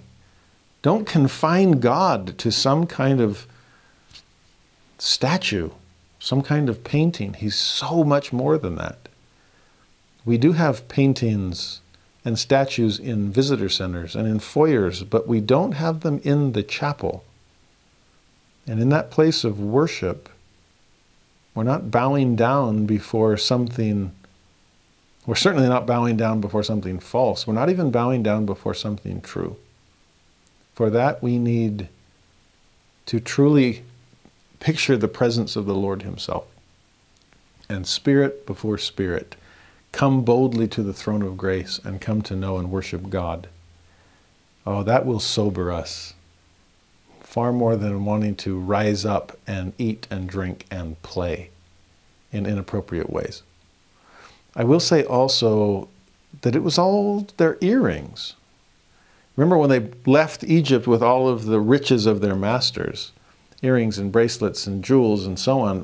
Why? So they could build the tabernacle with all the things that, were described, right? The precious stones on the breastplate of Aaron and so forth. But, you know, I think we'll still have plenty of gold to make the table of showbread and the Ark of the Covenant and everything else. I'm just asking for earrings. I'm still going to give God almost everything He asks for. Can't I carve out a little bit of space for other things? Does He really want all my heart, might, mind, and strength? Couldn't He spare a couple of earrings now and then? And some token offering I can put in to some other purpose? Oh, be, be careful, be wise. Because as we've already talked about earrings and piercing our ears, remember Exodus 21? What covenant am I making? And am I wanting to affix myself to the household of God? That's what we're building here, this tabernacle. And will I serve forever? Or just put in some time and then use earrings for lesser purposes instead of a hole in the ear to show the world that I am connected permanently to God? There's some interesting things going on here with those earrings. Now, verse 7, the Lord says to Moses, he's up on the mountaintop still, Go get thee down, for thy people, which thou broughtest out of the land of Egypt, have corrupted themselves. I picture Moses going, What, wait, wait, my people? That I brought out? No, no, no, no, no. And now we're playing hot potato with the house of Israel. I don't want them. Well, I don't want them. Well, you don't want you You see what's happening here? Uh, you're the one that made me do all that. But what's God after? Moses, I need you to take greater accountability for your people. I need you to feel and intercede. That's what's about to happen. Watch how it unfolds. In verse 8, they have turned aside quickly out of the way, which I commanded them. They have made them a molten calf, and have worshipped it, and have sacrificed thereunto, and said, These be thy gods, O Israel, which have brought thee up out of the land of Egypt. They turned aside. There's the, the counterfeit version of turning aside to see. It's the counterfeit version of repentance, since repentance is turning. They were on the path, now they're out of the path. They turned aside quickly. Oh, where is our our perseverance in keeping the commandments of God? Where's our determination in our discipleship? No, they turned away quickly, and now they're out of the way. Christ is the way. Here's the path, the straight and narrow, Jacob's ladder. Don't, don't fall off. But they did. In verse 9, the Lord says to Moses, I have seen this people. Behold, it is a stiff necked people. Their neck so stiff they won't bow down in humility before God, nor will they look up to God in faith. Now therefore let me alone, God says to Moses, that my wrath may wax hot against them, and that I may consume them, and I will make of thee a great nation. Now you understand what he just said there? Oh, I'm, I'm angry. This is righteous indignation, and it is burning. So let me just wipe out the whole house of Israel and start over again with you. You can be Noah 2.0, who was Adam 2.0. So I guess you're Adam 3.0. And we just start all over again with you. Now, this sounds really harsh. And didn't God already say, I'm not going to flood, destroy the earth again with flood? Well, not with a flood of water. Well, this time we can do it with fire. Well, is God testing Moses by pushing consequences to such an extreme that he'll see how Moses reacts to it? I mean, Moses was playing hot potato, right? We'll actually see that better in the book of Numbers. At one point in the in Numbers, the people are so you know murmuring and causing problems that that a frustrated Moses finally says, "Look, God, did I give birth to all these people? I'm not their dad. You are. So you deal with it." Again, there's this there's this struggle, and I can't blame them. These are all Lamans and Lemuels down below, right? And I've got to lead them to the promised land. Good luck. Well, it's going to take more than luck. It's going to take the heart of a leader. And I need you to claim them, Moses. I need you to make them your own, make their sins and their struggles your own. There's the condescension of Christ. Then you can lead them in love, true compassion, informing your every decision. So, Moses, here's my thought. Let's just destroy him and start over. I mean, you're, you're a good egg. Let's start hatching from you. And how's Moses going to respond?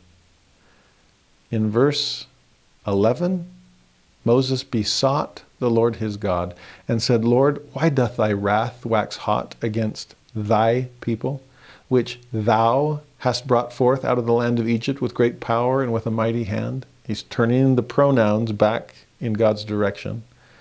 Verse 12 Wherefore should the Egyptians speak? and say, For mischief did he bring them out, to slay them in the mountains and to consume them from the face of the earth. Turn from thy fierce wrath, repent of this evil against thy people. Now that's gutsy to say that. Thankfully, the Joseph Smith translation corrects it. Moses didn't say, You know, God, you ought to repent. He says, The people will repent of this evil. Therefore, come thou not out against them.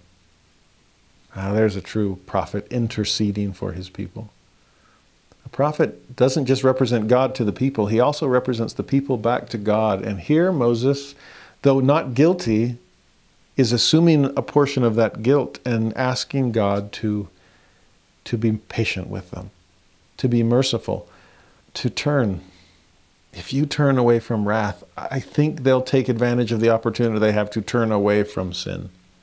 They, they'll repent if, if we ask them to. If we help them see what they're doing wrong and give them a chance to do better, I really believe they'll take it. And I picture God kind of keeping a poker face and going, Really, Moses? Hmm, interesting.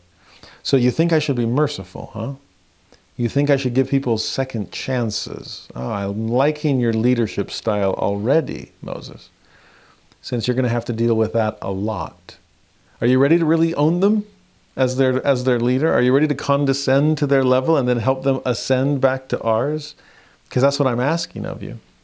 You see, he says in that verse when Moses is talking to him, hey, this would just look, this would look really bad to the, to the Egyptians. They would think that it was just mischief, that you're toying with them. Cat and mouse, you brought them out so you could destroy them out here. Oh no, they the Egyptians need to think better things of you. To which I think God would say, Oh, it's actually Israel that needs to think better things of me. Maybe even you, Moses, need to know better things of me. All these things that I've been doing, that they may know that I am God. Well, based on the plagues of Egypt, what do they know about me? Oh, that I'm powerful, that I'm almighty. But do they also know that I'm all merciful, that I'm all loving? So I'm going to push the limits of justice. And when I take that, remember, here's proving contraries. When you take a virtue and push it to the extreme, it becomes a vice. That's why you need the opposite virtue to keep it in check and to keep it balanced. So here's God, a just God, pushing justice to such an extreme that it seems so harsh that a Moses is, whoa, I don't know if I want to go that far. Okay, yes, I get frustrated with them too, but yikes, no, let's not start over. Let's, ah, okay, let's balance justice with mercy. Can you do that, God? And I picture God smiling, like, oh, you better believe it. In fact, that's really who I am, even more than the just side. I just keep them in perfect balance, and I'm wanting you to learn to do the same, since you're going to be judging all the great things. The captains of tens and fifties and hundreds can probably handle the easy ones. But for you, you're going to have to master justice and mercy closer to the way that I have. So watch how it continues to unfold. Verse 13, Moses keeps interceding. Remember Abraham, Isaac, and Israel, thy servants, to whom thou swearest by thine own self, and sayest unto them, I will multiply your seed as the stars of heaven. All this land that I have spoken of will I give unto your seed, and they shall inherit it forever. God, don't forget the covenant. No. all knowing, all remembering God isn't going to have a problem with that. But I'm glad, Moses, that you're reminding me of it because it shows that you're remembering it yourself. Go down and remind the people that a covenant's a two way promise. And yes, I'll remember my half, but will they remember theirs? They've forgotten already, and it's only been a month and a half. Let's see how they do here. Do we remember the covenant? Do we bank on it? And do we want God to remember his side? Of course we do. But do we want to remember our own? That's the question. In verse 14, the Lord repented of the evil which he thought to do unto his people. He took Moses' advice. Now, there's a JST here that corrects that. Let's get to it in a minute. But the truth still holds God didn't destroy the people. Uh, and that shows, again, his mercy. Mercy that Moses is leaning into for good reason. Well, read the full JST, though, of that verse. The Lord says to Moses, If they will repent of the evil which they have done just like you feel like they will. Then I will spare them and turn away my fierce wrath. But behold, thou shalt execute judgment upon all that will not repent of this evil this day. Therefore, see thou do this thing that I have commanded thee, or I will execute all that which I have thought to do unto my people. So here's the Lord with his massive swing towards mercy, but not an overcorrection. That's our problem when we're proving contraries. We're too just one day and then too merciful the next. Well, in this case, God is almost threatening too just, and Moses is like, whoa, whoa, whoa, can we be a little more merciful? Oh, of course. But Moses, you better not overcorrect. Because again, if you're going to, to judge correctly, you'll have to balance better the demands of justice and mercy. And Moses is going to try. Verse 15, he turned and went down from the mount, and the two tables of the testimony were in his hand. The tables were written on both their sides. On the one side, on the other were they written. And the tables were the work of God, and the writing was the writing of God, graven upon the tables. This is God's work and his word, not Moses's. They are set in stone. And will we be as firm as they are in, in keeping those commandments? The people down in the valley were nowhere near it. So, verse 17, when Joshua heard the noise of the people as they shouted, he said unto Moses, There's a noise of war in the camp. Can you see the scene unfold? Moses has been on the mountaintop. He gets the tablets of stone. He's coming down. He passes Joshua on the way, which lets you know what's he been doing for the last 40 days and 40 nights? There's a good minister. There is a, a patient and obedient soldier. And I will not abandon my post until given direct orders by higher command. That was probably a hungry 40 days and 40 nights for, for Joshua, too. But Moses comes down, and that's when Joshua says, Whoa, so something's going on down there. Sounds like the noise of war. And he would know that since he was the general that led them against the Amalekites. But Moses responds in 18 Oh, no, it's not the voice of them that shout for mastery, neither is it the voice of them that cry for being overcome, but the noise of them that sing do I hear. Love how he said that. Not to shout for mastery. This doesn't sound like people that are trying to develop self discipline and master the natural man. No. And the voice of them that cry for being overcome, no, they don't seem to be that sad that they're being overcome by the natural man at all. They're giving in to it wholeheartedly. This is the cry of eat, drink, and be merry because they don't care about consequence. In verse 19, it came to pass as soon as he came nigh unto the camp, that he saw the calf and the dancing, Moses' anger waxed hot He's catching up to God now. He cast the tables out of his hands and break them beneath the mount. There's the old joke that there, Moses is the only person to ever break all Ten Commandments simultaneously. But better than that joke is the statement by Cecil B. DeMille, the great director of the Ten Commandments movie, where he said, speaking to a Latter day Saint audience, we cannot break the Ten Commandments. We can only break ourselves against them. They're the stone. And we might be hard hearted and stiff necked, but hitting ourselves against God's law, we're the ones that are that come away broken and bruised. What Moses has done here, because of what they have done, let me help you visualize what you are doing. No graven images, or no other gods before me, or, or not taking the name of God in vain, whichever commandments you happen to be breaking right now. Let me demonstrate and break them all.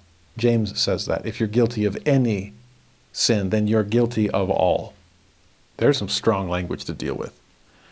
Verse 20 Moses took the calf which they had made and burnt it in the fire, its own burnt offering, and ground it to powder and strawed it upon the water and made the children of Israel drink of it. Now, if breaking the commandments was a visual aid to help them see what they were doing, then this one's even worse, or more, or better, as the case may be, more powerful. You are consuming things upon your lusts. That's a scriptural phrase. You are internalizing iniquity. Okay, let's act that one out, shall we? I'm going to take this golden calf that's becoming, this idolatry that's becoming a part of you this inability to trust in God and wait on Him. And as you are bringing falsehood, false worship into you, let's, let's do it. And I'll take this golden calf and burn it and grind it and make you drink the stuff. Yikes.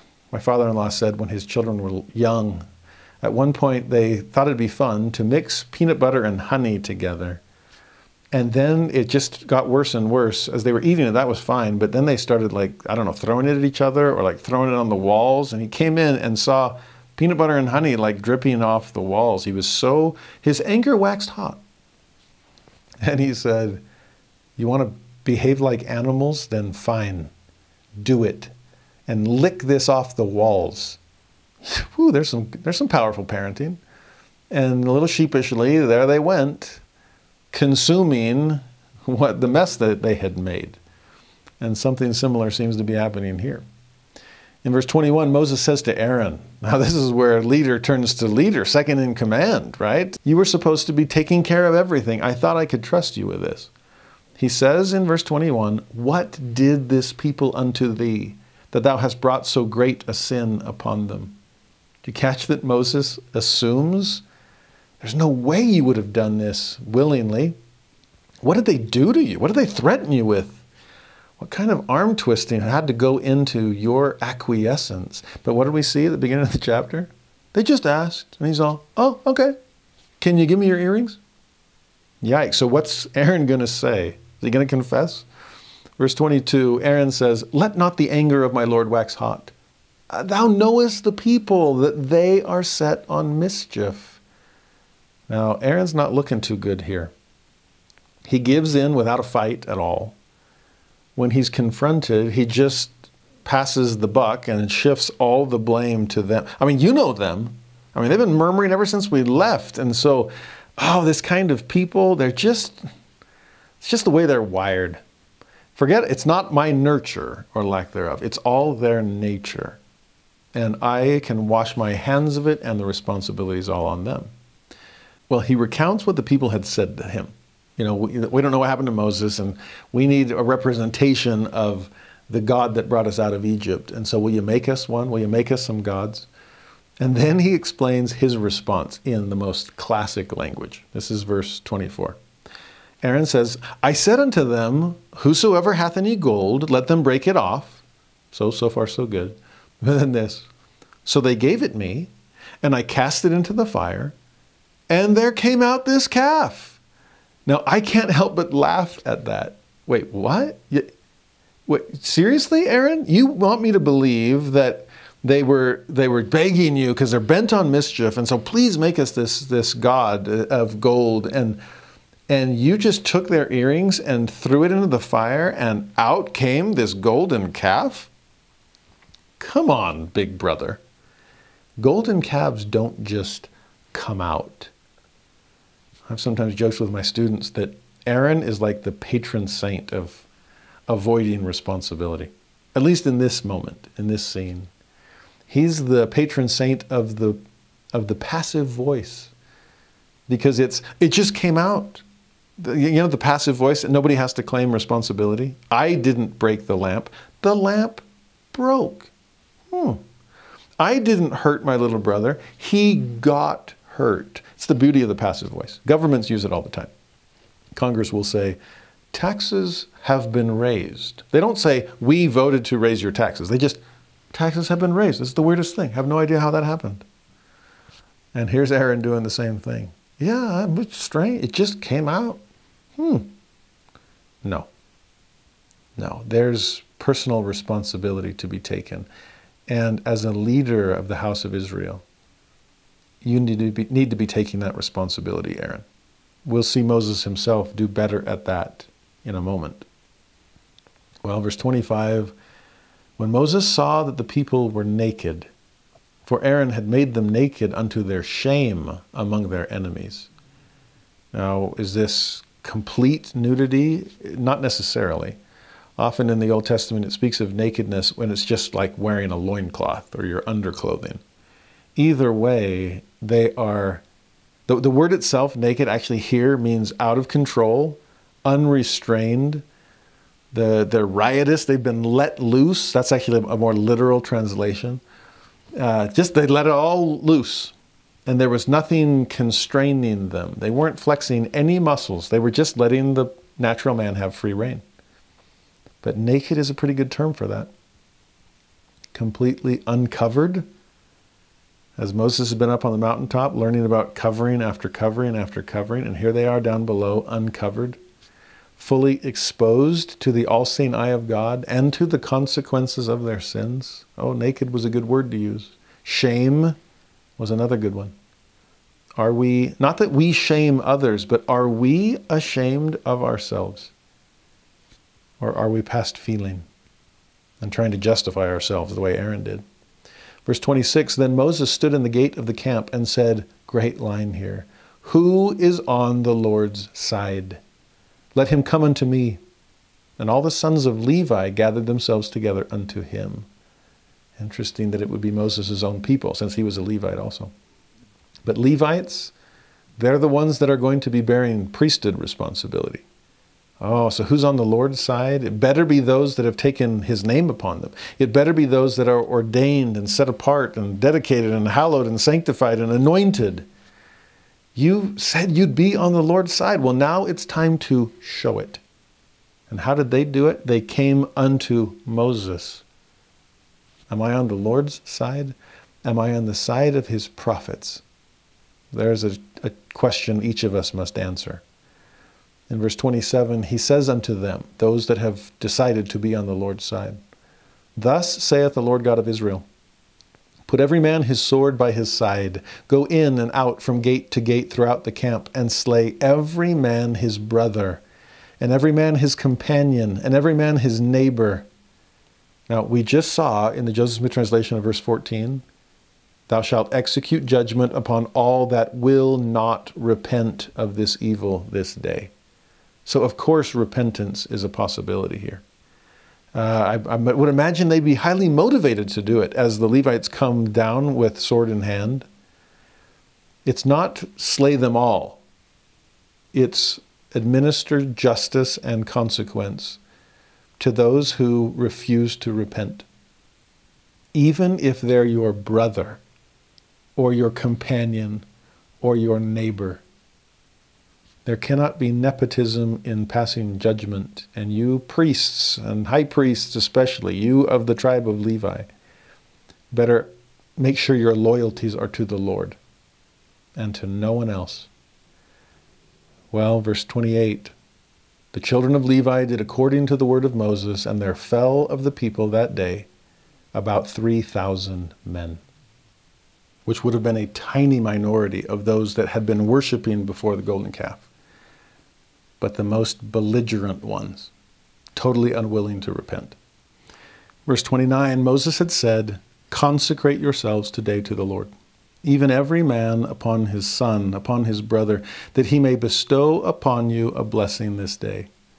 Now, the King James translation language of that verse is tricky. It sounds like a command go consecrate yourself, everyone against, upon your son, upon your brother, and God will bless you.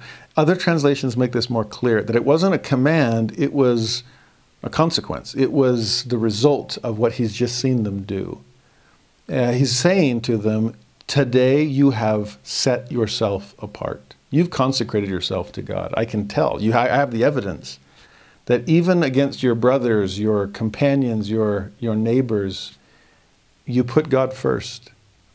And, and you kept the first great commandment before you wanted to keep the second great commandment.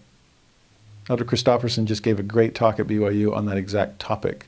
That the first and second great commandments, both of which are absolutely essential, and the second is like unto the first. There's a lot of overlap. But they're in that order for a reason. And who's on the Lord's side has to come first. For these Levites, it did exactly that. And they proved themselves through that process. In verse 30, it came to pass on the morrow that Moses said unto the people, Ye have sinned a great sin. Now, these were the ones that were spared. They were the ones that repented but he's he they, he administered mercy yesterday, but today he's reminding them of justice. He said, "Now I will go up unto the Lord. Peradventure, in other words, perhaps, just maybe, I shall make an atonement for your sin." Here again is a prophet interceding for the people, but realizing the balance, the delicate balance between justice and mercy. I hope, peradventure, I'm able to do this and take your sins back to God. This is what the priests were going to be doing all along, right? Have the holiness to the Lord on their mind. It was on Moses' mind. Have the Urim and Thummim there in the ephod, trying to receive revelation, the breastplate of judgment. I am going to bring you, my brethren, my precious stones, back to God in hopes that I can intercede on your behalf. Pray for me. I'll be praying for you. And in verse 31, Moses returned unto the Lord and said, Oh, this people have sinned a great sin and have made them gods of gold. He didn't sugarcoat it. He confessed their sins honestly, openly. And then in verse 32 continued, Yet now, if thou wilt forgive their sin, and if not, Blot me, I pray thee, out of thy book which thou hast written. Now do you see Moses really understanding it, justice and mercy? If thou wilt forgive their sin, there's leaning in the direction of mercy. Please do so. If not, if they've crossed a line and gone too far, and justice must intercede, then let me take their place. This is Simeon staying in prison so the rest of the brothers can go. This is Reuben saying, You can kill my own sons, Father, if I don't protect Benjamin. This is Judah saying, I'll go to prison so that Benjamin can go free. More importantly, this is Jesus saying, Father, forgive them, for they know not what they do. Or, as more often the case, Father, forgive them despite the fact that they know what they're doing. And please be merciful to them. And if you cannot blot out their sins, then put their sins on me instead. Moses, in that moment, becomes the Christ figure in this story. The type and shadow pointing forward to Jesus. Blot me out of the book of life as long as their names can still be written there. It's amazing what he's willing to, to ask there. Here is substitutionary atonement at its absolute finest. Well, not absolute, that would be Jesus. All of these sacrificial offerings, Moses is starting to learn what they're pointing toward. And he's willing to step into that place himself. Well, the chapter comes to a close in verse 33 and 34 with the Lord saying to Moses, Whosoever hath sinned against me, him will I blot out of my book. So this is personal accountability. You can't take their blame. Therefore now go, lead the people unto the place of which I have spoken unto thee. Behold, mine angel shall go before thee. Nevertheless, in the day when I visit, I will visit their sin upon them. And the Lord plagued the people because they made the calf, which Aaron made. Yeah, those last three words, that would hurt Aaron. You mean God saw through my passive voice? Uh huh. Yeah, he knows that golden calves don't just come out. So, Aaron, you're, you're responsible. Uh, people of Israel, you are responsible. Moses, I'm not going to punish you for their sake. I, I'm not going to shift the burden of justice. I will do that upon my son, but only because he's the one worthy to do it. He had no sins on his ledger. You've got a few on your account. Okay, that disqualifies you. But everyone must take personal responsibility, including the people. What you can do, Moses, is lead. All that we saw back in chapter 18, lead them in righteousness, teach them correct principles, and well, and keep teaching them correct, correct principles, and then do some more teaching of correct principles, and then someday when they're ready, hopefully, Yes, let them govern themselves. Uh, there's a lot of teaching, a lot of leading to do, and Moses is going to do all of that as best as he can. The Lord's actually going to lead them as well. Notice how he does it in chapter 33. And these last two chapters for today, uh, of this week, 33 and 34, are so powerful. 33 1, the Lord says to Moses, Depart, go up hence, thou and the people which thou hast brought up out of the land of Egypt, unto the land which I swear unto Abraham, to Isaac, and to Jacob saying, Unto thy seed will I give it. So, yes, Moses, I do remember my covenant. I swear it unto Abraham, Isaac, Jacob. I'll keep it. Go do your part. Take this people which thou hast brought. They're still doing hot potato with the pronouns. Verse 2 I will send an angel before thee. That's what he'd said at the end of chapter 32. And I will drive out the Canaanite, the Amorite, the Hittite, the Perizzite, the Hivite, the Jebusite, I know them all, unto a land flowing with milk and honey for I will not go up in the midst of thee, for thou art a stiff necked people, lest I consume thee in the way. See, that's why they get an angel instead of God Himself. Originally, pillar of fire, cloud of smoke, I will carry you through. Just follow me. Well, you haven't been following me, Israel. You preferred a golden calf. And so, fine, I can't stay because I, won't, I don't want to consume you in my anger. Now, again, is he pushing justice to the point that Moses knows how merciful he needs to be? Perhaps.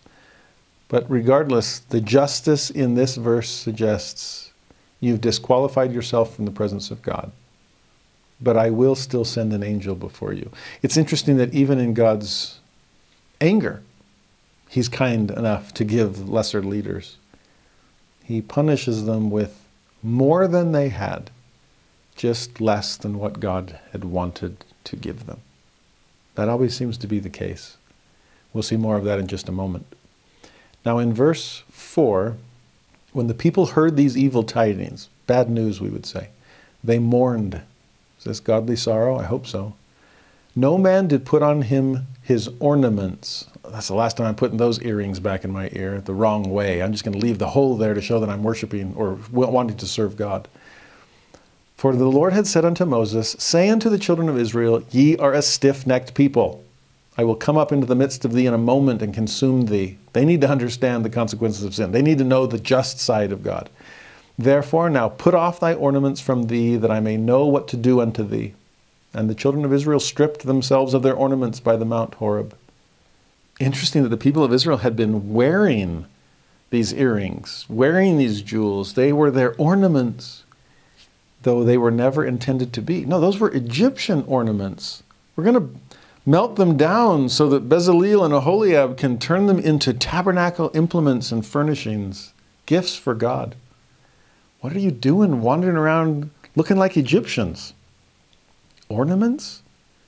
No, this is not a matter of adornment. This is a matter of adoration. Who will you worship? This isn't personal consumption, this is consecration. Is this display or discipleship? Is this for self or for sacrifice?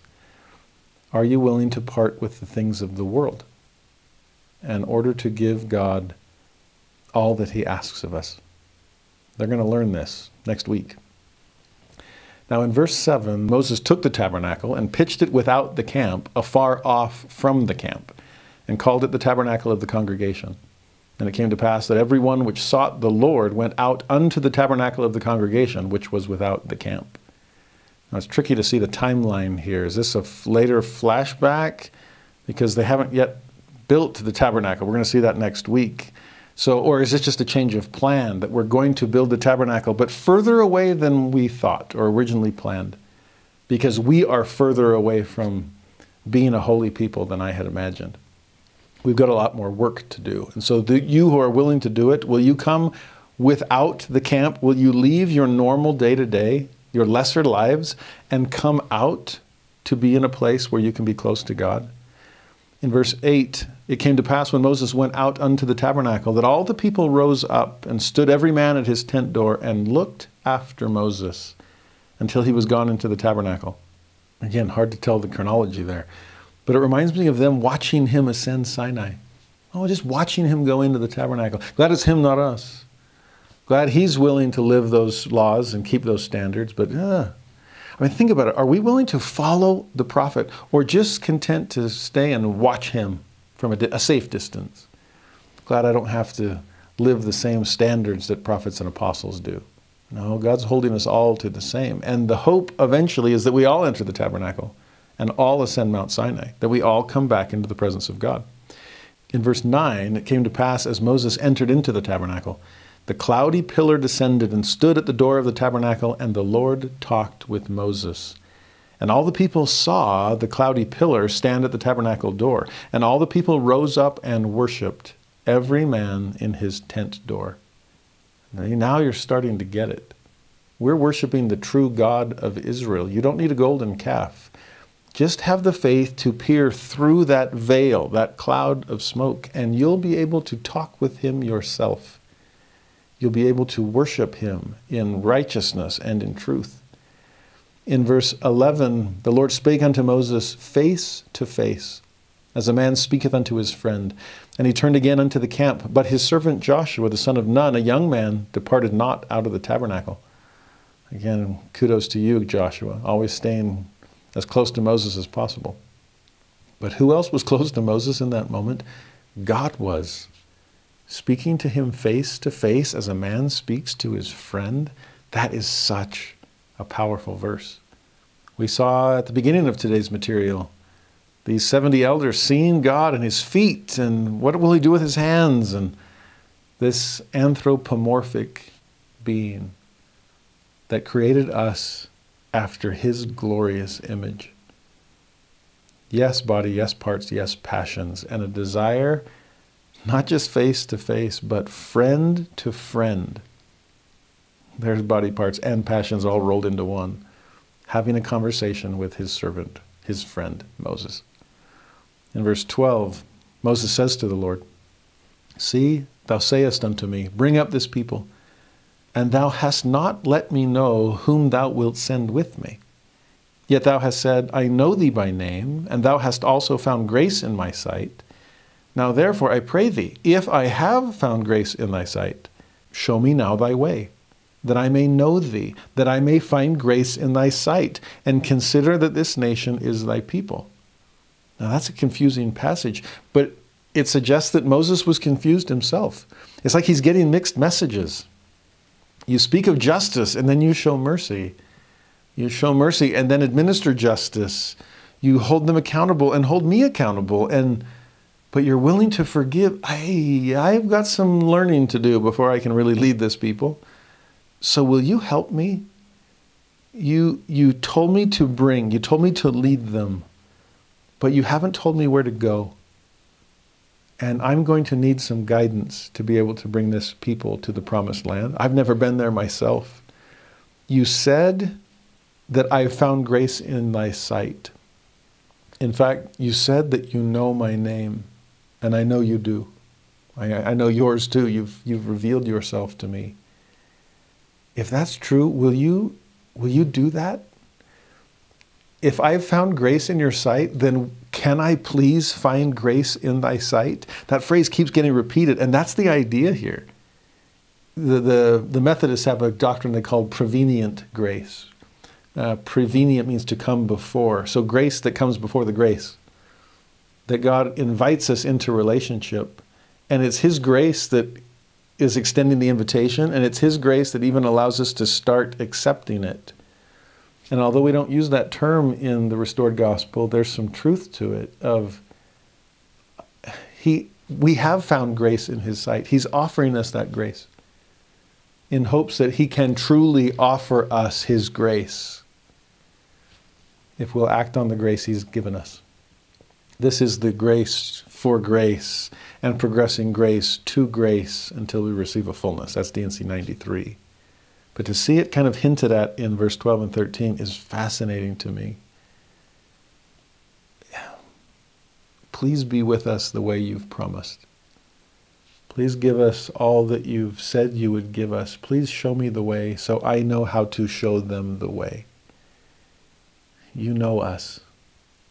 We know you. And we're trusting you on this. So God repeats the promise. He says in verse 14, My presence shall go with thee. I will give thee rest. And Moses responds, If thy presence go not with me, then carry us not up hence. If you're not coming, then I don't even want to go, which is a good attitude. Uh, an interdependence upon the Lord. As long as you're with me, then who is against me? You are the way, I will follow that way in verse 16, For wherein shall it be known here that I and thy people have found grace in thy sight? Is it not in that thou goest with us? So shall we be separated, which means distinct, special, set apart, I and thy people, from all the people that are upon the face of the earth. You see what Moses is saying there? How is it going to be known that we're your people if you aren't with us? So it's like he's still dealing with this. Are you? You said you weren't going to come, and that you were going to send the angel instead. Does that really mean you're not going to be a part of this? I mean, how far are you delegating? Uh, please be with us, because if you're not with us, we can't go. And then that, that next verse, how else would we know, or how else would surrounding nations know that you're that we're your people if you're not with us? That's that's a great thing to consider. What sets us apart? It's the presence of God.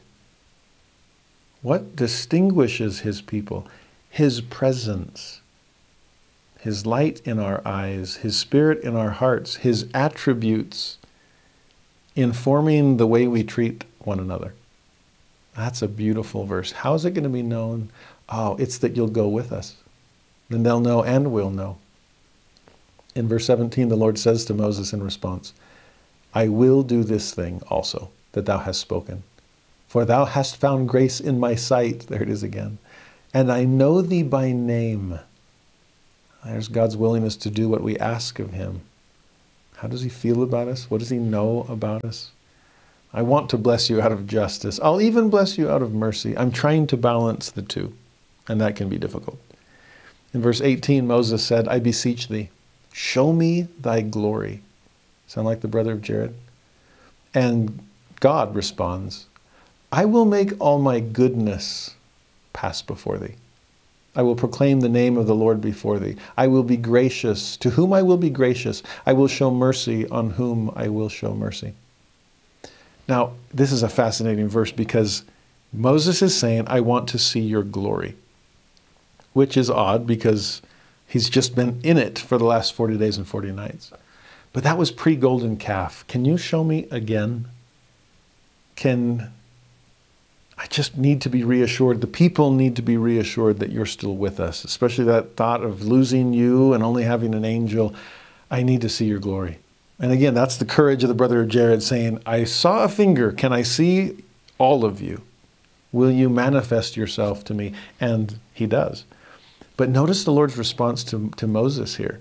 Moses asks to see glory. The Lord offers to show him goodness. I love that. I will make my goodness pass before thee. And I think sometimes we we miss goodness because all we want to see is glory.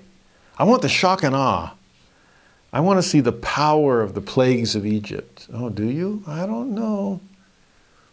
Or do you want to see God's goodness, His gentleness? I wanted to see lion, not lamb. Well, maybe lamb is a better initial introduction. I've often wondered about Judas Iscariot and his coming to himself right after Gethsemane. He brought an army with him to, to, to take down Jesus. And when Jesus humbly submits, goes as a lamb to the slaughter, healing the servant's ear on the way, I wonder if that's when it really dawns on Judas. You'd think it would have dawned on him earlier, three years of following Jesus. But during those three years, was he too focused on glory and not focused enough on goodness? Maybe that's why he brought the army. This guy can command the winds and the waves. This guy can raise the dead. He can do anything. I'm going to need a, a force behind me. And when none of that force was necessary, and Jesus simply shuffled off for his unjust trial, I wonder if that's when the light comes on in Judas's darkness. I've totally misjudged Jesus. And so caught up in the glory, I failed to see his goodness.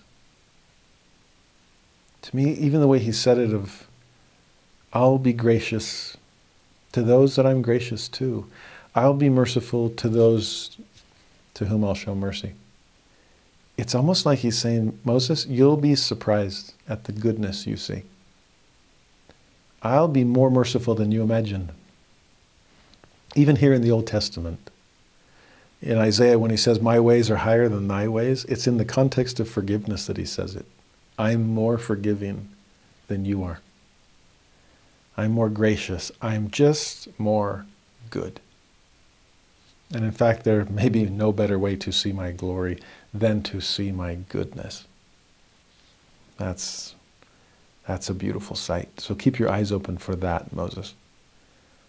In verse 20, God says, Thou canst not see my face, for there shall no man see me and live. Now that begs the question then how do we explain verse 11? That God saw Moses face, they spake face to face as friends.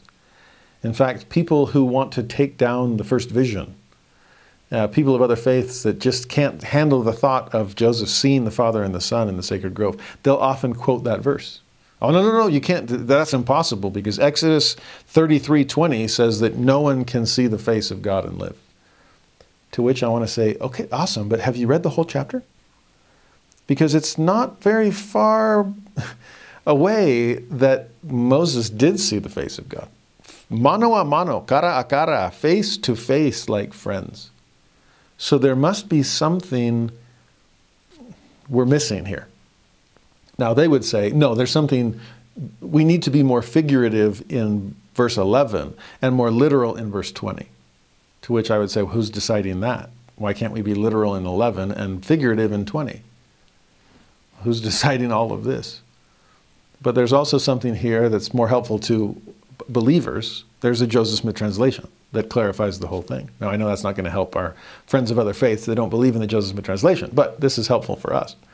Here's what the Lord really said He says to Moses, Thou canst not see my face at this time. So this is situation specific. Nine verses ago, it was fine, but not right now. Lest mine anger be kindled against thee also, and I destroy thee and thy people. For there shall no man among them see me at this time and live. For they are exceeding sinful, and no sinful man hath at any time neither shall there be any sinful man at any time that shall see my face and live. I do wonder if Moses is still struggling to find the balance between justice and mercy.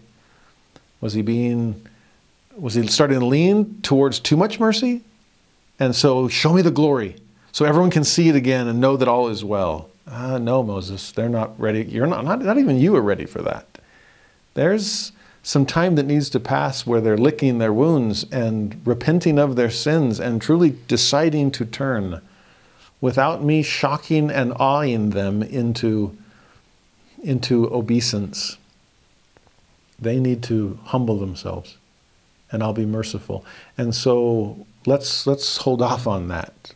I'm not going to do that at this time. But it's interesting because twice he uses the phrase at this time, and twice he uses the phrase at any time, which to me says something.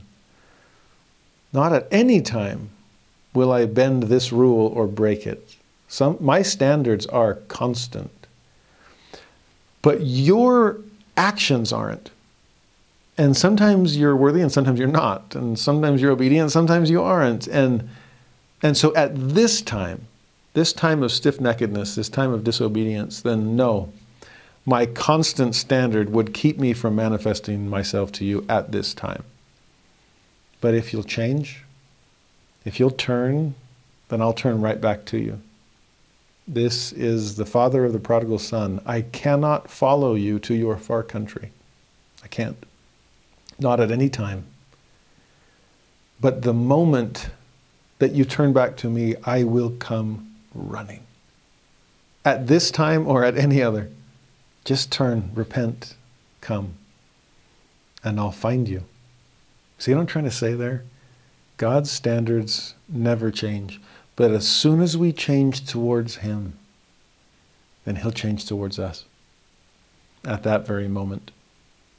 The chapter then ends in 21, 2, 3, the Lord saying, Behold, there is a place by me and thou shalt stand upon a rock, and it shall come to pass, while my glory passeth by. It's the goodness I really want you to see, but I'll even give you a glimpse of my glory.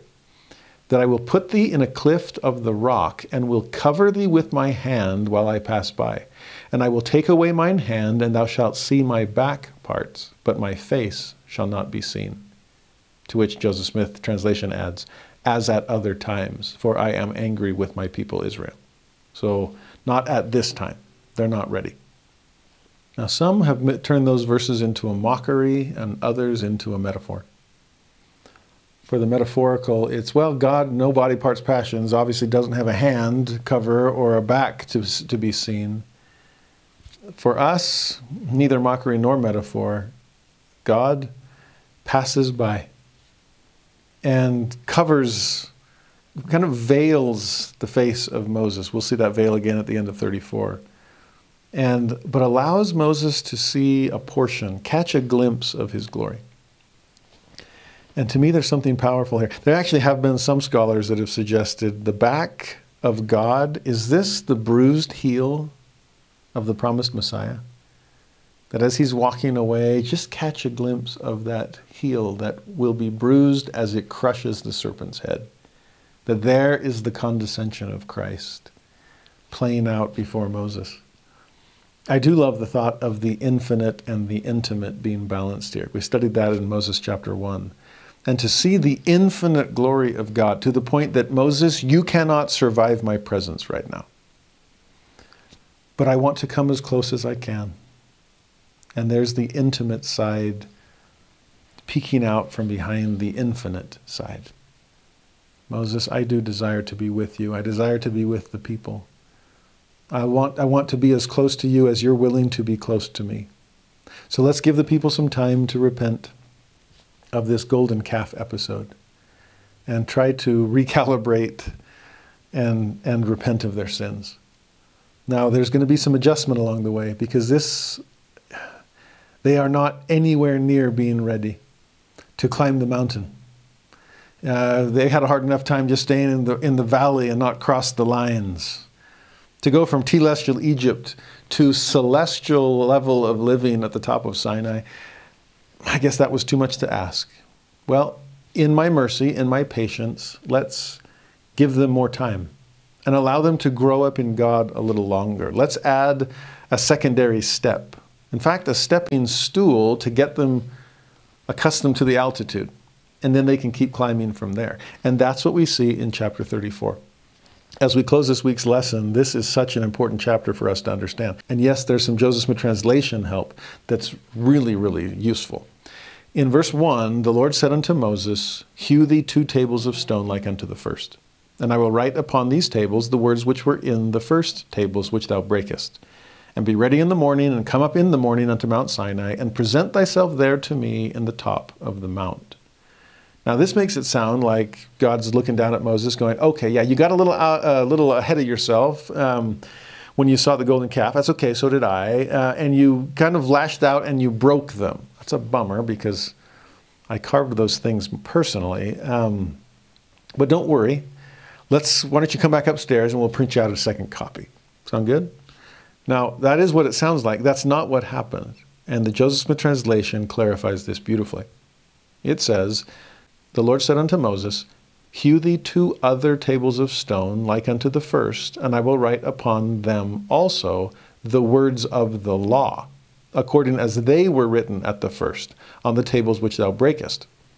So we'll still get the same Ten Commandments. But it shall not be according to the first, at least not in every way. And here's the glaring difference. For I will take away the priesthood out of their midst Therefore, my holy order and the ordinances thereof shall not go before them, for my presence shall not go up in their midst, lest I destroy them. But I will give unto them the law as at the first, but it shall be after the law of a carnal commandment. For I have sworn in my wrath that they shall not enter into my presence, into my rest in the day of their pilgrimage. Therefore, do as I have commanded thee, and be ready in the morning. And then the verse picks up from there. Now, wait a minute, there's a lot going on here. So, first tablets had the law, second set of tablets is also going to have the law. Okay, good, no change. But what's up with priesthood? I thought, I mean, we were just talking about Aaron and his sons and consecrating and anointing and priestly robes and garments, and you're giving us priesthood. Well, yeah, but not in its fullness not the fullness of the priesthood I had intended to give you. Remember, we said that a moment ago. That when God curses us, He ends up blessing us with more than we had, just infinitely less than what He wanted to give us. Even murderers and liars and everyone else that's horribly wicked, according to section 76, still gets to go to a kingdom of glory, the Telestial kingdom. It's better than what they had. It's just infinitely less than what God wanted to give them. And so when it says, I will take away the priesthood, he's talking Melchizedek priesthood, or its full name. I'm trying to make you into sons and daughters of God, like the Son of God himself. You weren't ready for that. And I understand, and it's okay. I'm patient. I will give you time to acclimatize. Altitude sickness is a real thing. So as you're climbing Sinai, let's slow down the process a bit by, say, I don't know, a thousand years, give or take. And let me give you a priesthood, but a lesser version. Yes, it's Aaron and his sons. Ah, the Aaronic priesthood. Yes, it's for the tribe of Levi. Ah, the Levitical priesthood. I will give you that, but I am taking away the priesthood after my order, the Melchizedek priesthood. That you will not have. Now, to make sense of this, go back with me to section 84 of the Doctrine and Covenants, one of the three great priesthood revelations we have. And starting in verse 19, as the Lord says, This greater priesthood, Melchizedek, administereth the gospel and holdeth the key of the mysteries of the kingdom. That's what Moses is trying to give them. Even the key of the knowledge of God, that they may know that I am the Lord. Can you come into my presence, commune with me, come to know me? Therefore, it goes on, in the ordinances thereof, the power of godliness is manifest. And without the ordinances thereof and the authority of the priesthood, of Melchizedek, that is, the power of godliness is not manifest unto men in the flesh. For without this, no man can see the face of God, even the Father, and live. Ooh, that sounds like Exodus 33. What is it that separates our ability to see God from an inability? Well, the ordinances and authority of the Melchizedek priesthood. In fact, if you were to give the Melchizedek priesthood a key word, it would be God. Knowledge of God, godliness, power of godliness, face of God, it's all focused on God the Father. That's what Melchizedek priesthood is all about. It's his power, it's his authority. Well, if that's the word association with Melchizedek priesthood, what's the word association with Aaronic priesthood? We'll see it in just a moment. Keep reading D&C 84. Now, this, everything I just explained, Moses plainly taught to the children of Israel in the wilderness and sought diligently to sanctify his people that they might behold the face of God. There's our key word. He did everything he could, all that we've been studying the last couple weeks. But they hardened their hearts, could not endure his presence. Therefore, the Lord in his wrath, for his anger was kindled against them, we see that today, swore that they should not enter into his rest while in the wilderness, which rest is the fullness of his glory. Again, great imagery for Sabbath. Keep going. One more set of passages from 84. Therefore, he took Moses out of their midst. We'll see that clearly at a later date. And the holy priesthood also. That's what we're seeing here, post golden calf, Exodus 34. What's left then? And the lesser priesthood continued the Aaronic, the Levitical, the lesser. And then how's this for a definition? Here's your word association. Which priesthood holdeth the key of the ministering of angels, and the preparatory gospel, which gospel is the gospel of repentance and of baptism. There's the altar of sacrifice and the brass laver on our way back into the tabernacle of God. So, gospel of repentance and of baptism and the remission of sins and the law of carnal commandments which the Lord in his wrath caused to continue with the house of Aaron among the children of Israel, all the way till John, John the Baptist, that is. Carnal commandments? Yeah, because they're a little too carnal. I'm going to have to spell it out because they need it to be spelled. We're going to have to teach them a lot more correct principles before they're able to govern themselves. And so let's give them a preparatory gospel to help them prepare for the fullness of the gospel that Moses had intended to give them. Let's give them a priesthood that is preparatory before they receive the ultimate manifestation of God's power and authority, which is Melchizedek priesthood, authority and ordinances. You see, to me, it's amazing to take Exodus 34, especially the JST, couple it with Doctrine and Covenants 84, bring them together and realize what's happening here. It's incredible. I used to do this with my seminary students. I'd have somebody, I'd bring somebody up, usually somebody athletic, and I'd take them to the desk at the front of the room and say, Could you step up to the desk, straight from the floor up to a desk that's like three feet off the ground, uh, the top anyway? And they'll, Oh, yeah, no problem. And they'll just kind of hop on up. And I go, No, no, no, you, you cheated. It's like, What do you mean? I said, You hopped. You pushed off the floor to be able to step up to this level. I want you just to, to step up and have all your weight shift with no movement on the, on the, the ground level. Okay? Like, what? Like basically, I want a deep knee, one legged, full body weight squat. Okay, can you do that? Kind of hang over this, this desk and just raise yourself without pushing off from below at all. In all the years I did it, I think I saw like one student do it. I think he was a gymnast. I mean, just super strong quad muscles, right? The rest would always push off a little. And the other students were always quick to catch them in the act. So when they finally waved the white flag and said, I can't, I can't do it, I said, well, let me help you then. Let me add something that will be beneficial. Because the scriptures talk about the Lord adding the Aaronic priesthood or adding the law of Moses. And to me, it's like, what? In my arithmetic, that sounds like subtraction, not addition. You're going lower. Well, yeah, but that's only lower from above. You are going higher than, than below. I'm adding a stepping stool.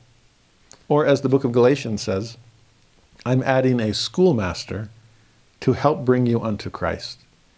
Jumping from telestial to celestial was, I mean, you pulled your hamstring, okay? You got altitude sickness.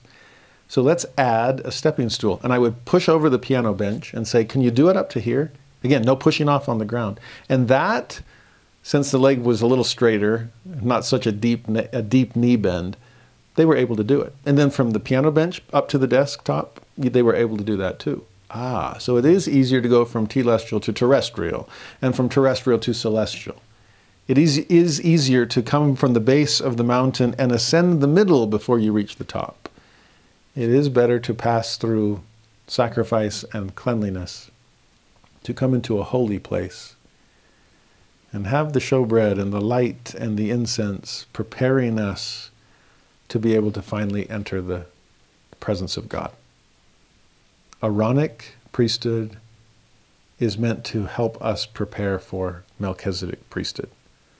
And I don't mean it's a preparatory priesthood in terms of just it helps deacons and teachers and priests get up to speed so they can become elders and high priests. No, it's more than that because it's the ordinances, right? For priesthood, it's never about the holder, it's always about the recipient of its blessings. And so, how is the Aaronic priesthood preparatory? We just saw that verse in section 84. It administers the preparatory gospel. Ah, repentance, baptism. It gets everyone else up to speed. It does it by repentance. It eliminates sin. And once sin is gone, then what happens? Then Melchizedek ordinances can come onto the scene to introduce us into the presence of God. That's the high priest coming into the Holy of Holies. Everything else was preparatory, preparatory gospel. Sin elimination, preparing then for one's presentation before God. Does that make sense? Let me give you the ultimate chart, okay, to, to put side by side Aaronic versus Melchizedek. On the one hand, Aaronic is temporal, while Melchizedek is more spiritual.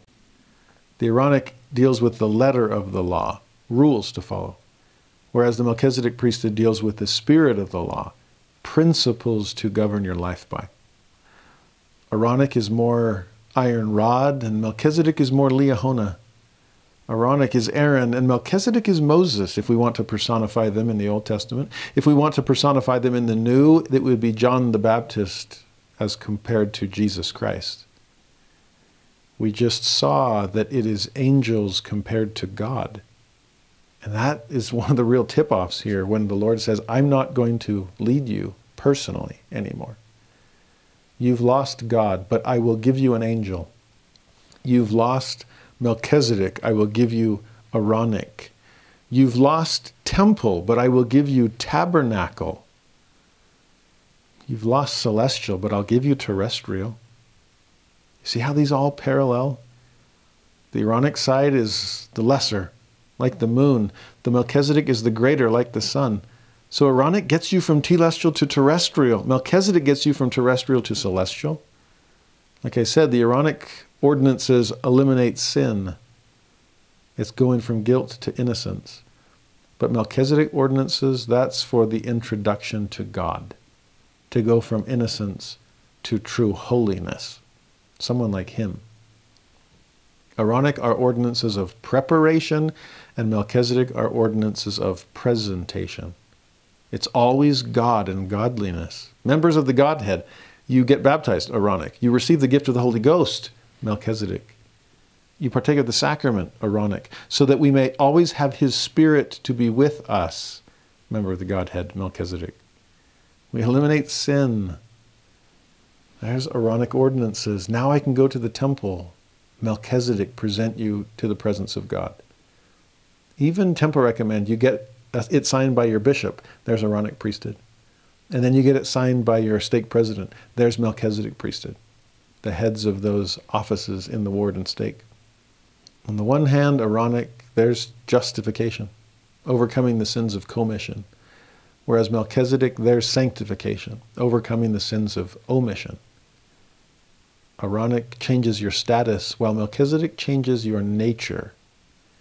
Aaronic pulls weeds, while Melchizedek plants flowers.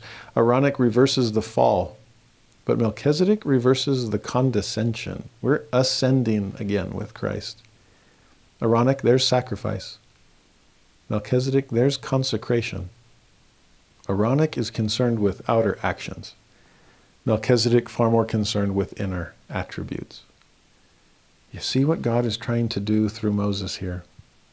Trying to get them up to speed. And when in his justice he knew that they weren't going to make it, then in his mercy he offered them a preparatory gospel in hopes of getting them ready to take the ultimate step. We'll see this principle play out several more times in the coming weeks. It's evidence to me of the great goodness of God far more than even his glory. In verse 3, back to Exodus 34, the Lord continues to explain to Moses No man shall come up with thee, neither let any man be seen throughout all the mount, neither let the flocks nor herds feed before the mount. So we're going to start over again. Back behind the line, let's try this. Take two. Verse 4 He hewed two tables of stone like unto the first and Moses rose up early in the morning and went up unto Mount Sinai, as the Lord had commanded him, and took in his hand the two tables of stone.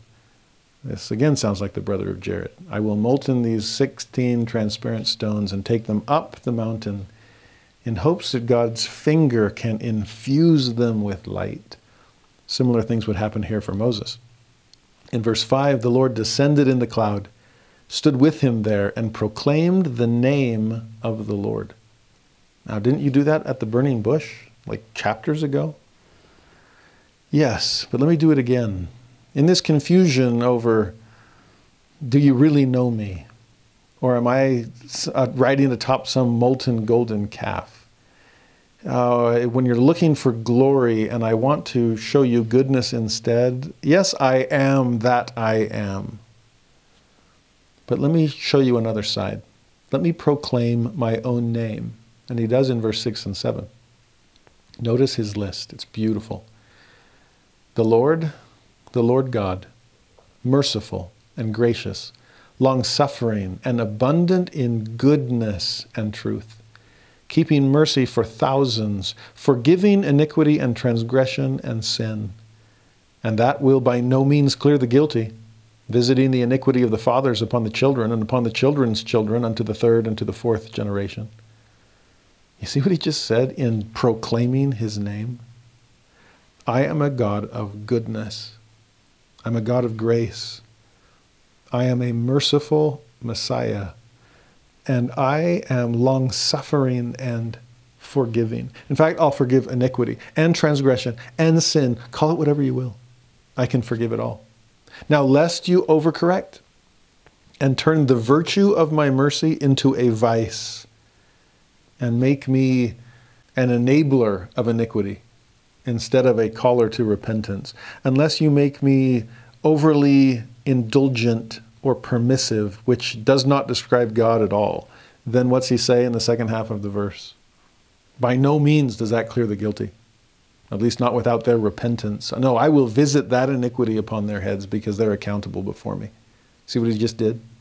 He leads out with mercy, though, and then pulls it back towards justice, lest we take things too far to the extreme. I do love the name that he has just proclaimed to us. And if we can come to know that balance, that perfect proving of contraries, then perhaps we'll better be better able to navigate life ourselves. In verse 8, Moses made haste, bowed his head toward the earth, worshipped. There's his humility. And he said, If now I have found grace in thy sight, O Lord. That phrase keeps coming up. I love it. Then let my Lord, I pray thee, go among us. For it is a stiff necked people, and pardon our iniquity and our sin, and take us for thine inheritance. This is no longer Moses playing hot potato with pronouns. He's picked the best one for the last. And it's the, the plural, the first person plural. It's, it's we, it's us, it's our. I'm as guilty as they are if I haven't been leading them in enough righteousness. I have as much sin as, as do they. But please take us. I'm in as much need of thy mercy and grace as the least of these, my brethren. Please be kind to us all. And the Lord is. In verse 10, he says, Behold, I make a covenant before all thy people. I will do marvels such as have not been done in all the earth, nor in any nation. And all the people among which thou art shall see the work of the Lord, for it is a terrible thing that I will do with thee. Terrible, rough translation for 21st century ears. Awesome is what we would say. So, Moses, no worries. I'm, I promise you, I'll make a covenant with you, and I'm going to do marvelous things. You thought what I did in Egypt was epic? Forget about it. What I'm going to do to gather you back home to me the mighty change of heart I can effect even among the hard hearted if they'll simply repent. Oh, it's going to be awesome. You just wait and see. In fact, speaking of seeing, look at verse 11. Observe, there's a sight verb. Observe thou that which I command thee this day. Now that means observe not just watch, but observe as in keep.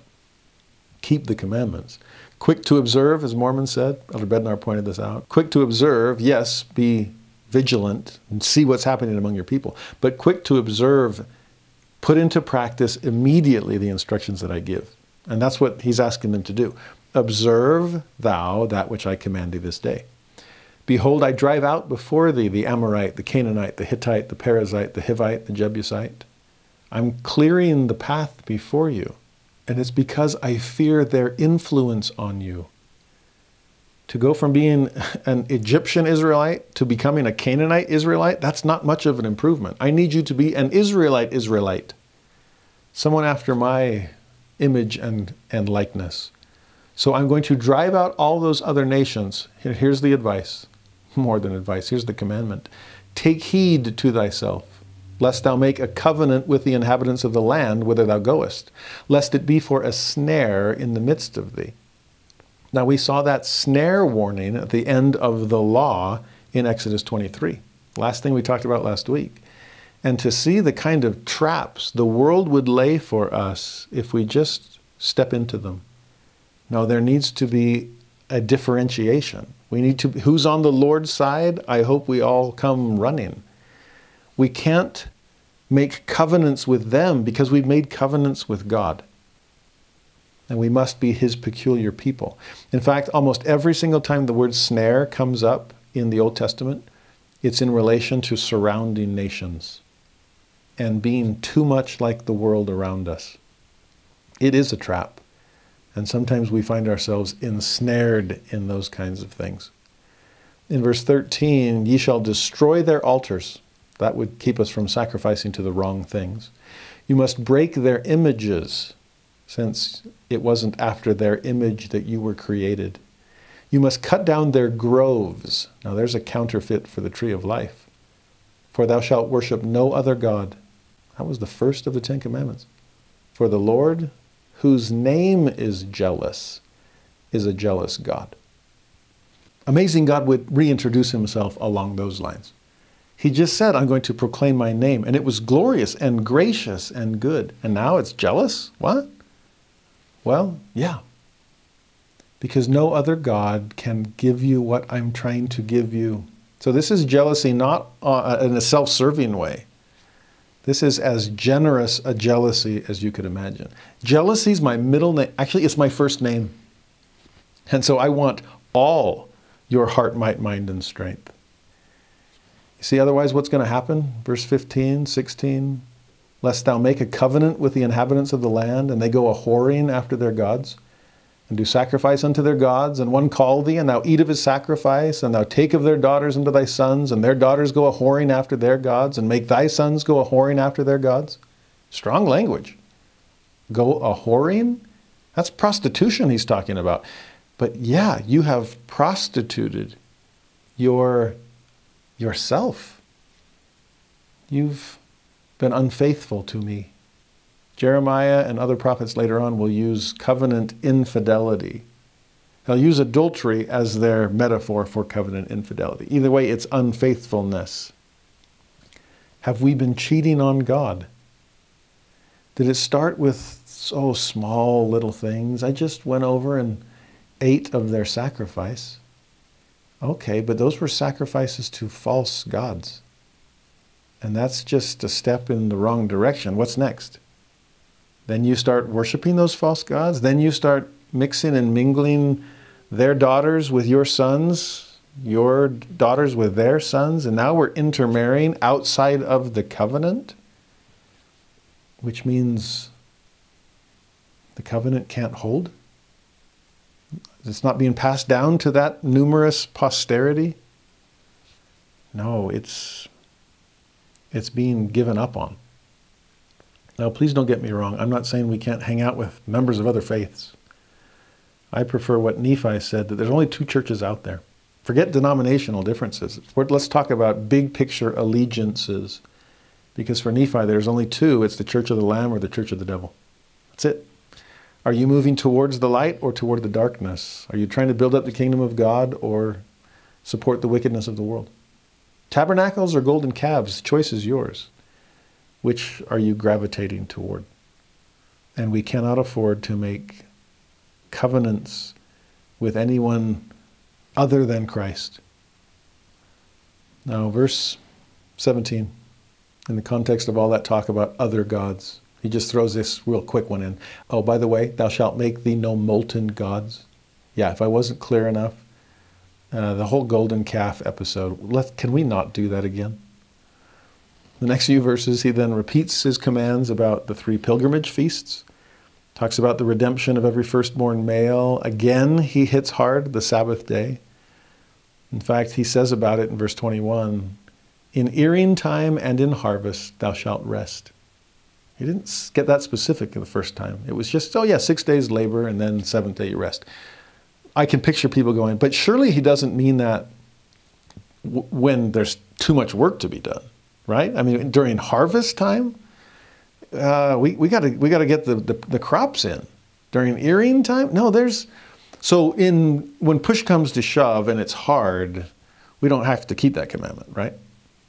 And I love that the Lord says, no, even in those times thou shalt rest. Even intense work times, even with lots of deadlines, even long hours, honor me that day. It will end up honoring you. In 24, when he talks about the pilgrimage feasts, he says, Neither shall any man desire thy land when thou shalt go up to appear before the Lord thy God thrice in the year. I like that one too. It's similar to what we just saw about the Sabbath.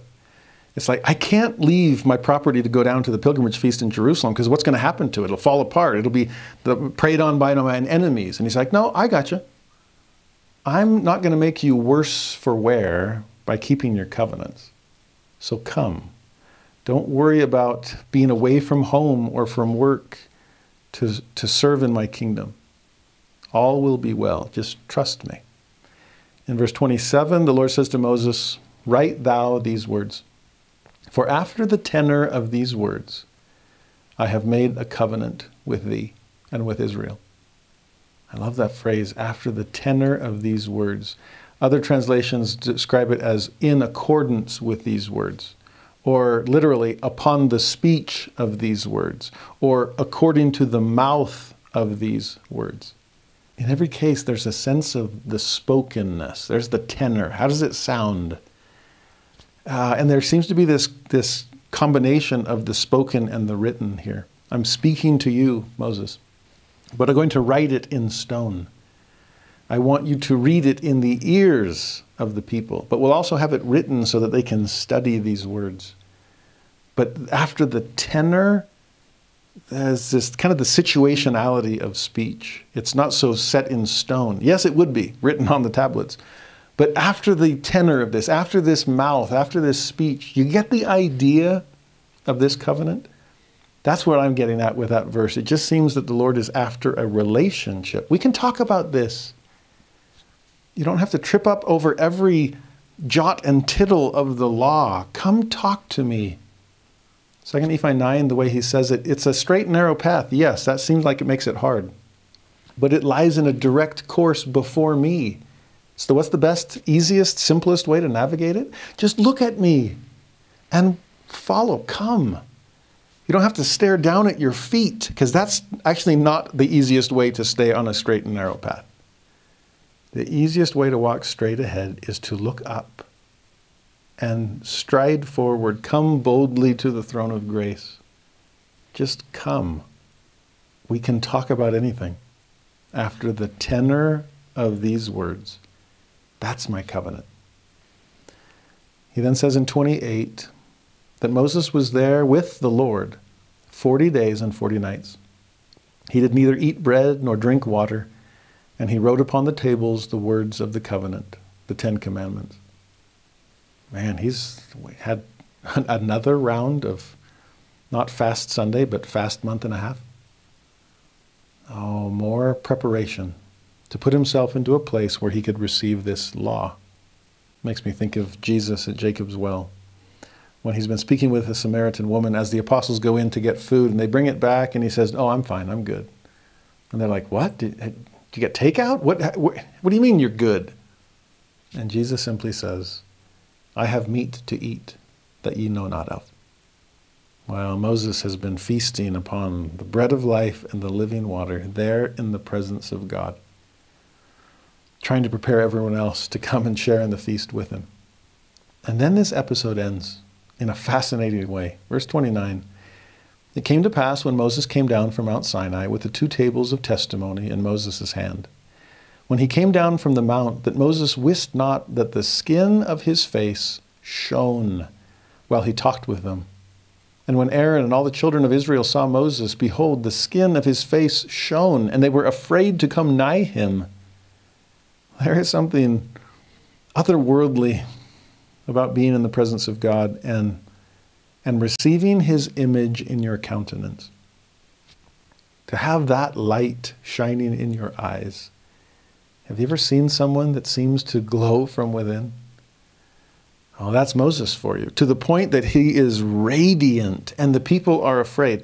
Stands to reason since they were afraid of the pillar of fire and the cloud of smoke and the thunder and lightning and everything that was happening on Sinai. Well, here now, the Sinai has descended to them in the person of Moses. And this brilliant light, they just couldn't, they couldn't handle it. And so, just as God in His glory walked by and kind of veiled the face of Moses, covered him with His hand until you could pass by and just see kind of the trail of my glory, God does the same thing for Moses. Or I should say, Moses does the same thing for the people. In 31, Moses called unto them, and Aaron and all the rulers of the congregation returned unto him. And Moses talked with them. And afterwards all the children of Israel came nigh, and he gave them in commandment all that the Lord had spoken with him in Mount Sinai. So he's giving them the law, and he's giving it to them as law. Notice how he said it. He gave them in commandment all these things. How do we frame what we're teaching?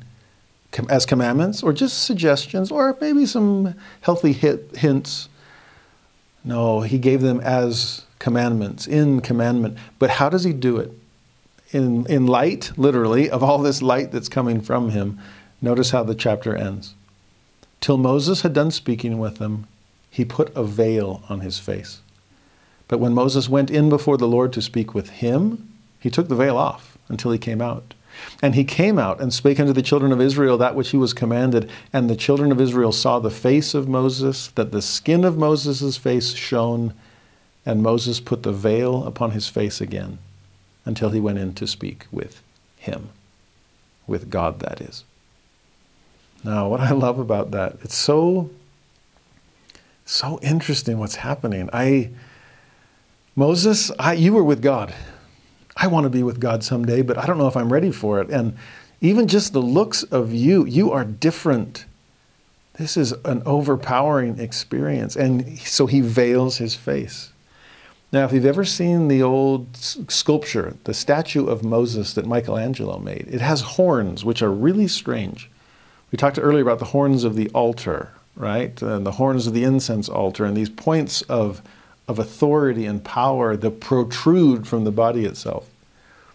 Well, when Jerome uh, translated uh, the Bible into Latin, the Vulgate, and when he was translating the end of Exodus 34, instead of rays of light, which is what's described here as the skin of Moses' face shining, he translated it as horns, which was either a mistranslation or, if you know Jerome better than that, is he hinting at something about Moses and the power and authority that emanated from him. This ram caught in the thicket, more than just a meek and lowly lamb. There's both sides of Jesus. He is lion and lamb after all. But to see Moses as that personification and the light radiating from him to the point of true power and authority. Call them horns, call them rays of light, call them what you will. It's the power of God. And it comes from living a life of holiness. My dear friends, as we come to a conclusion of this week's material, and there was so much of it to cover, I pray that we see the light of the Lord shining through.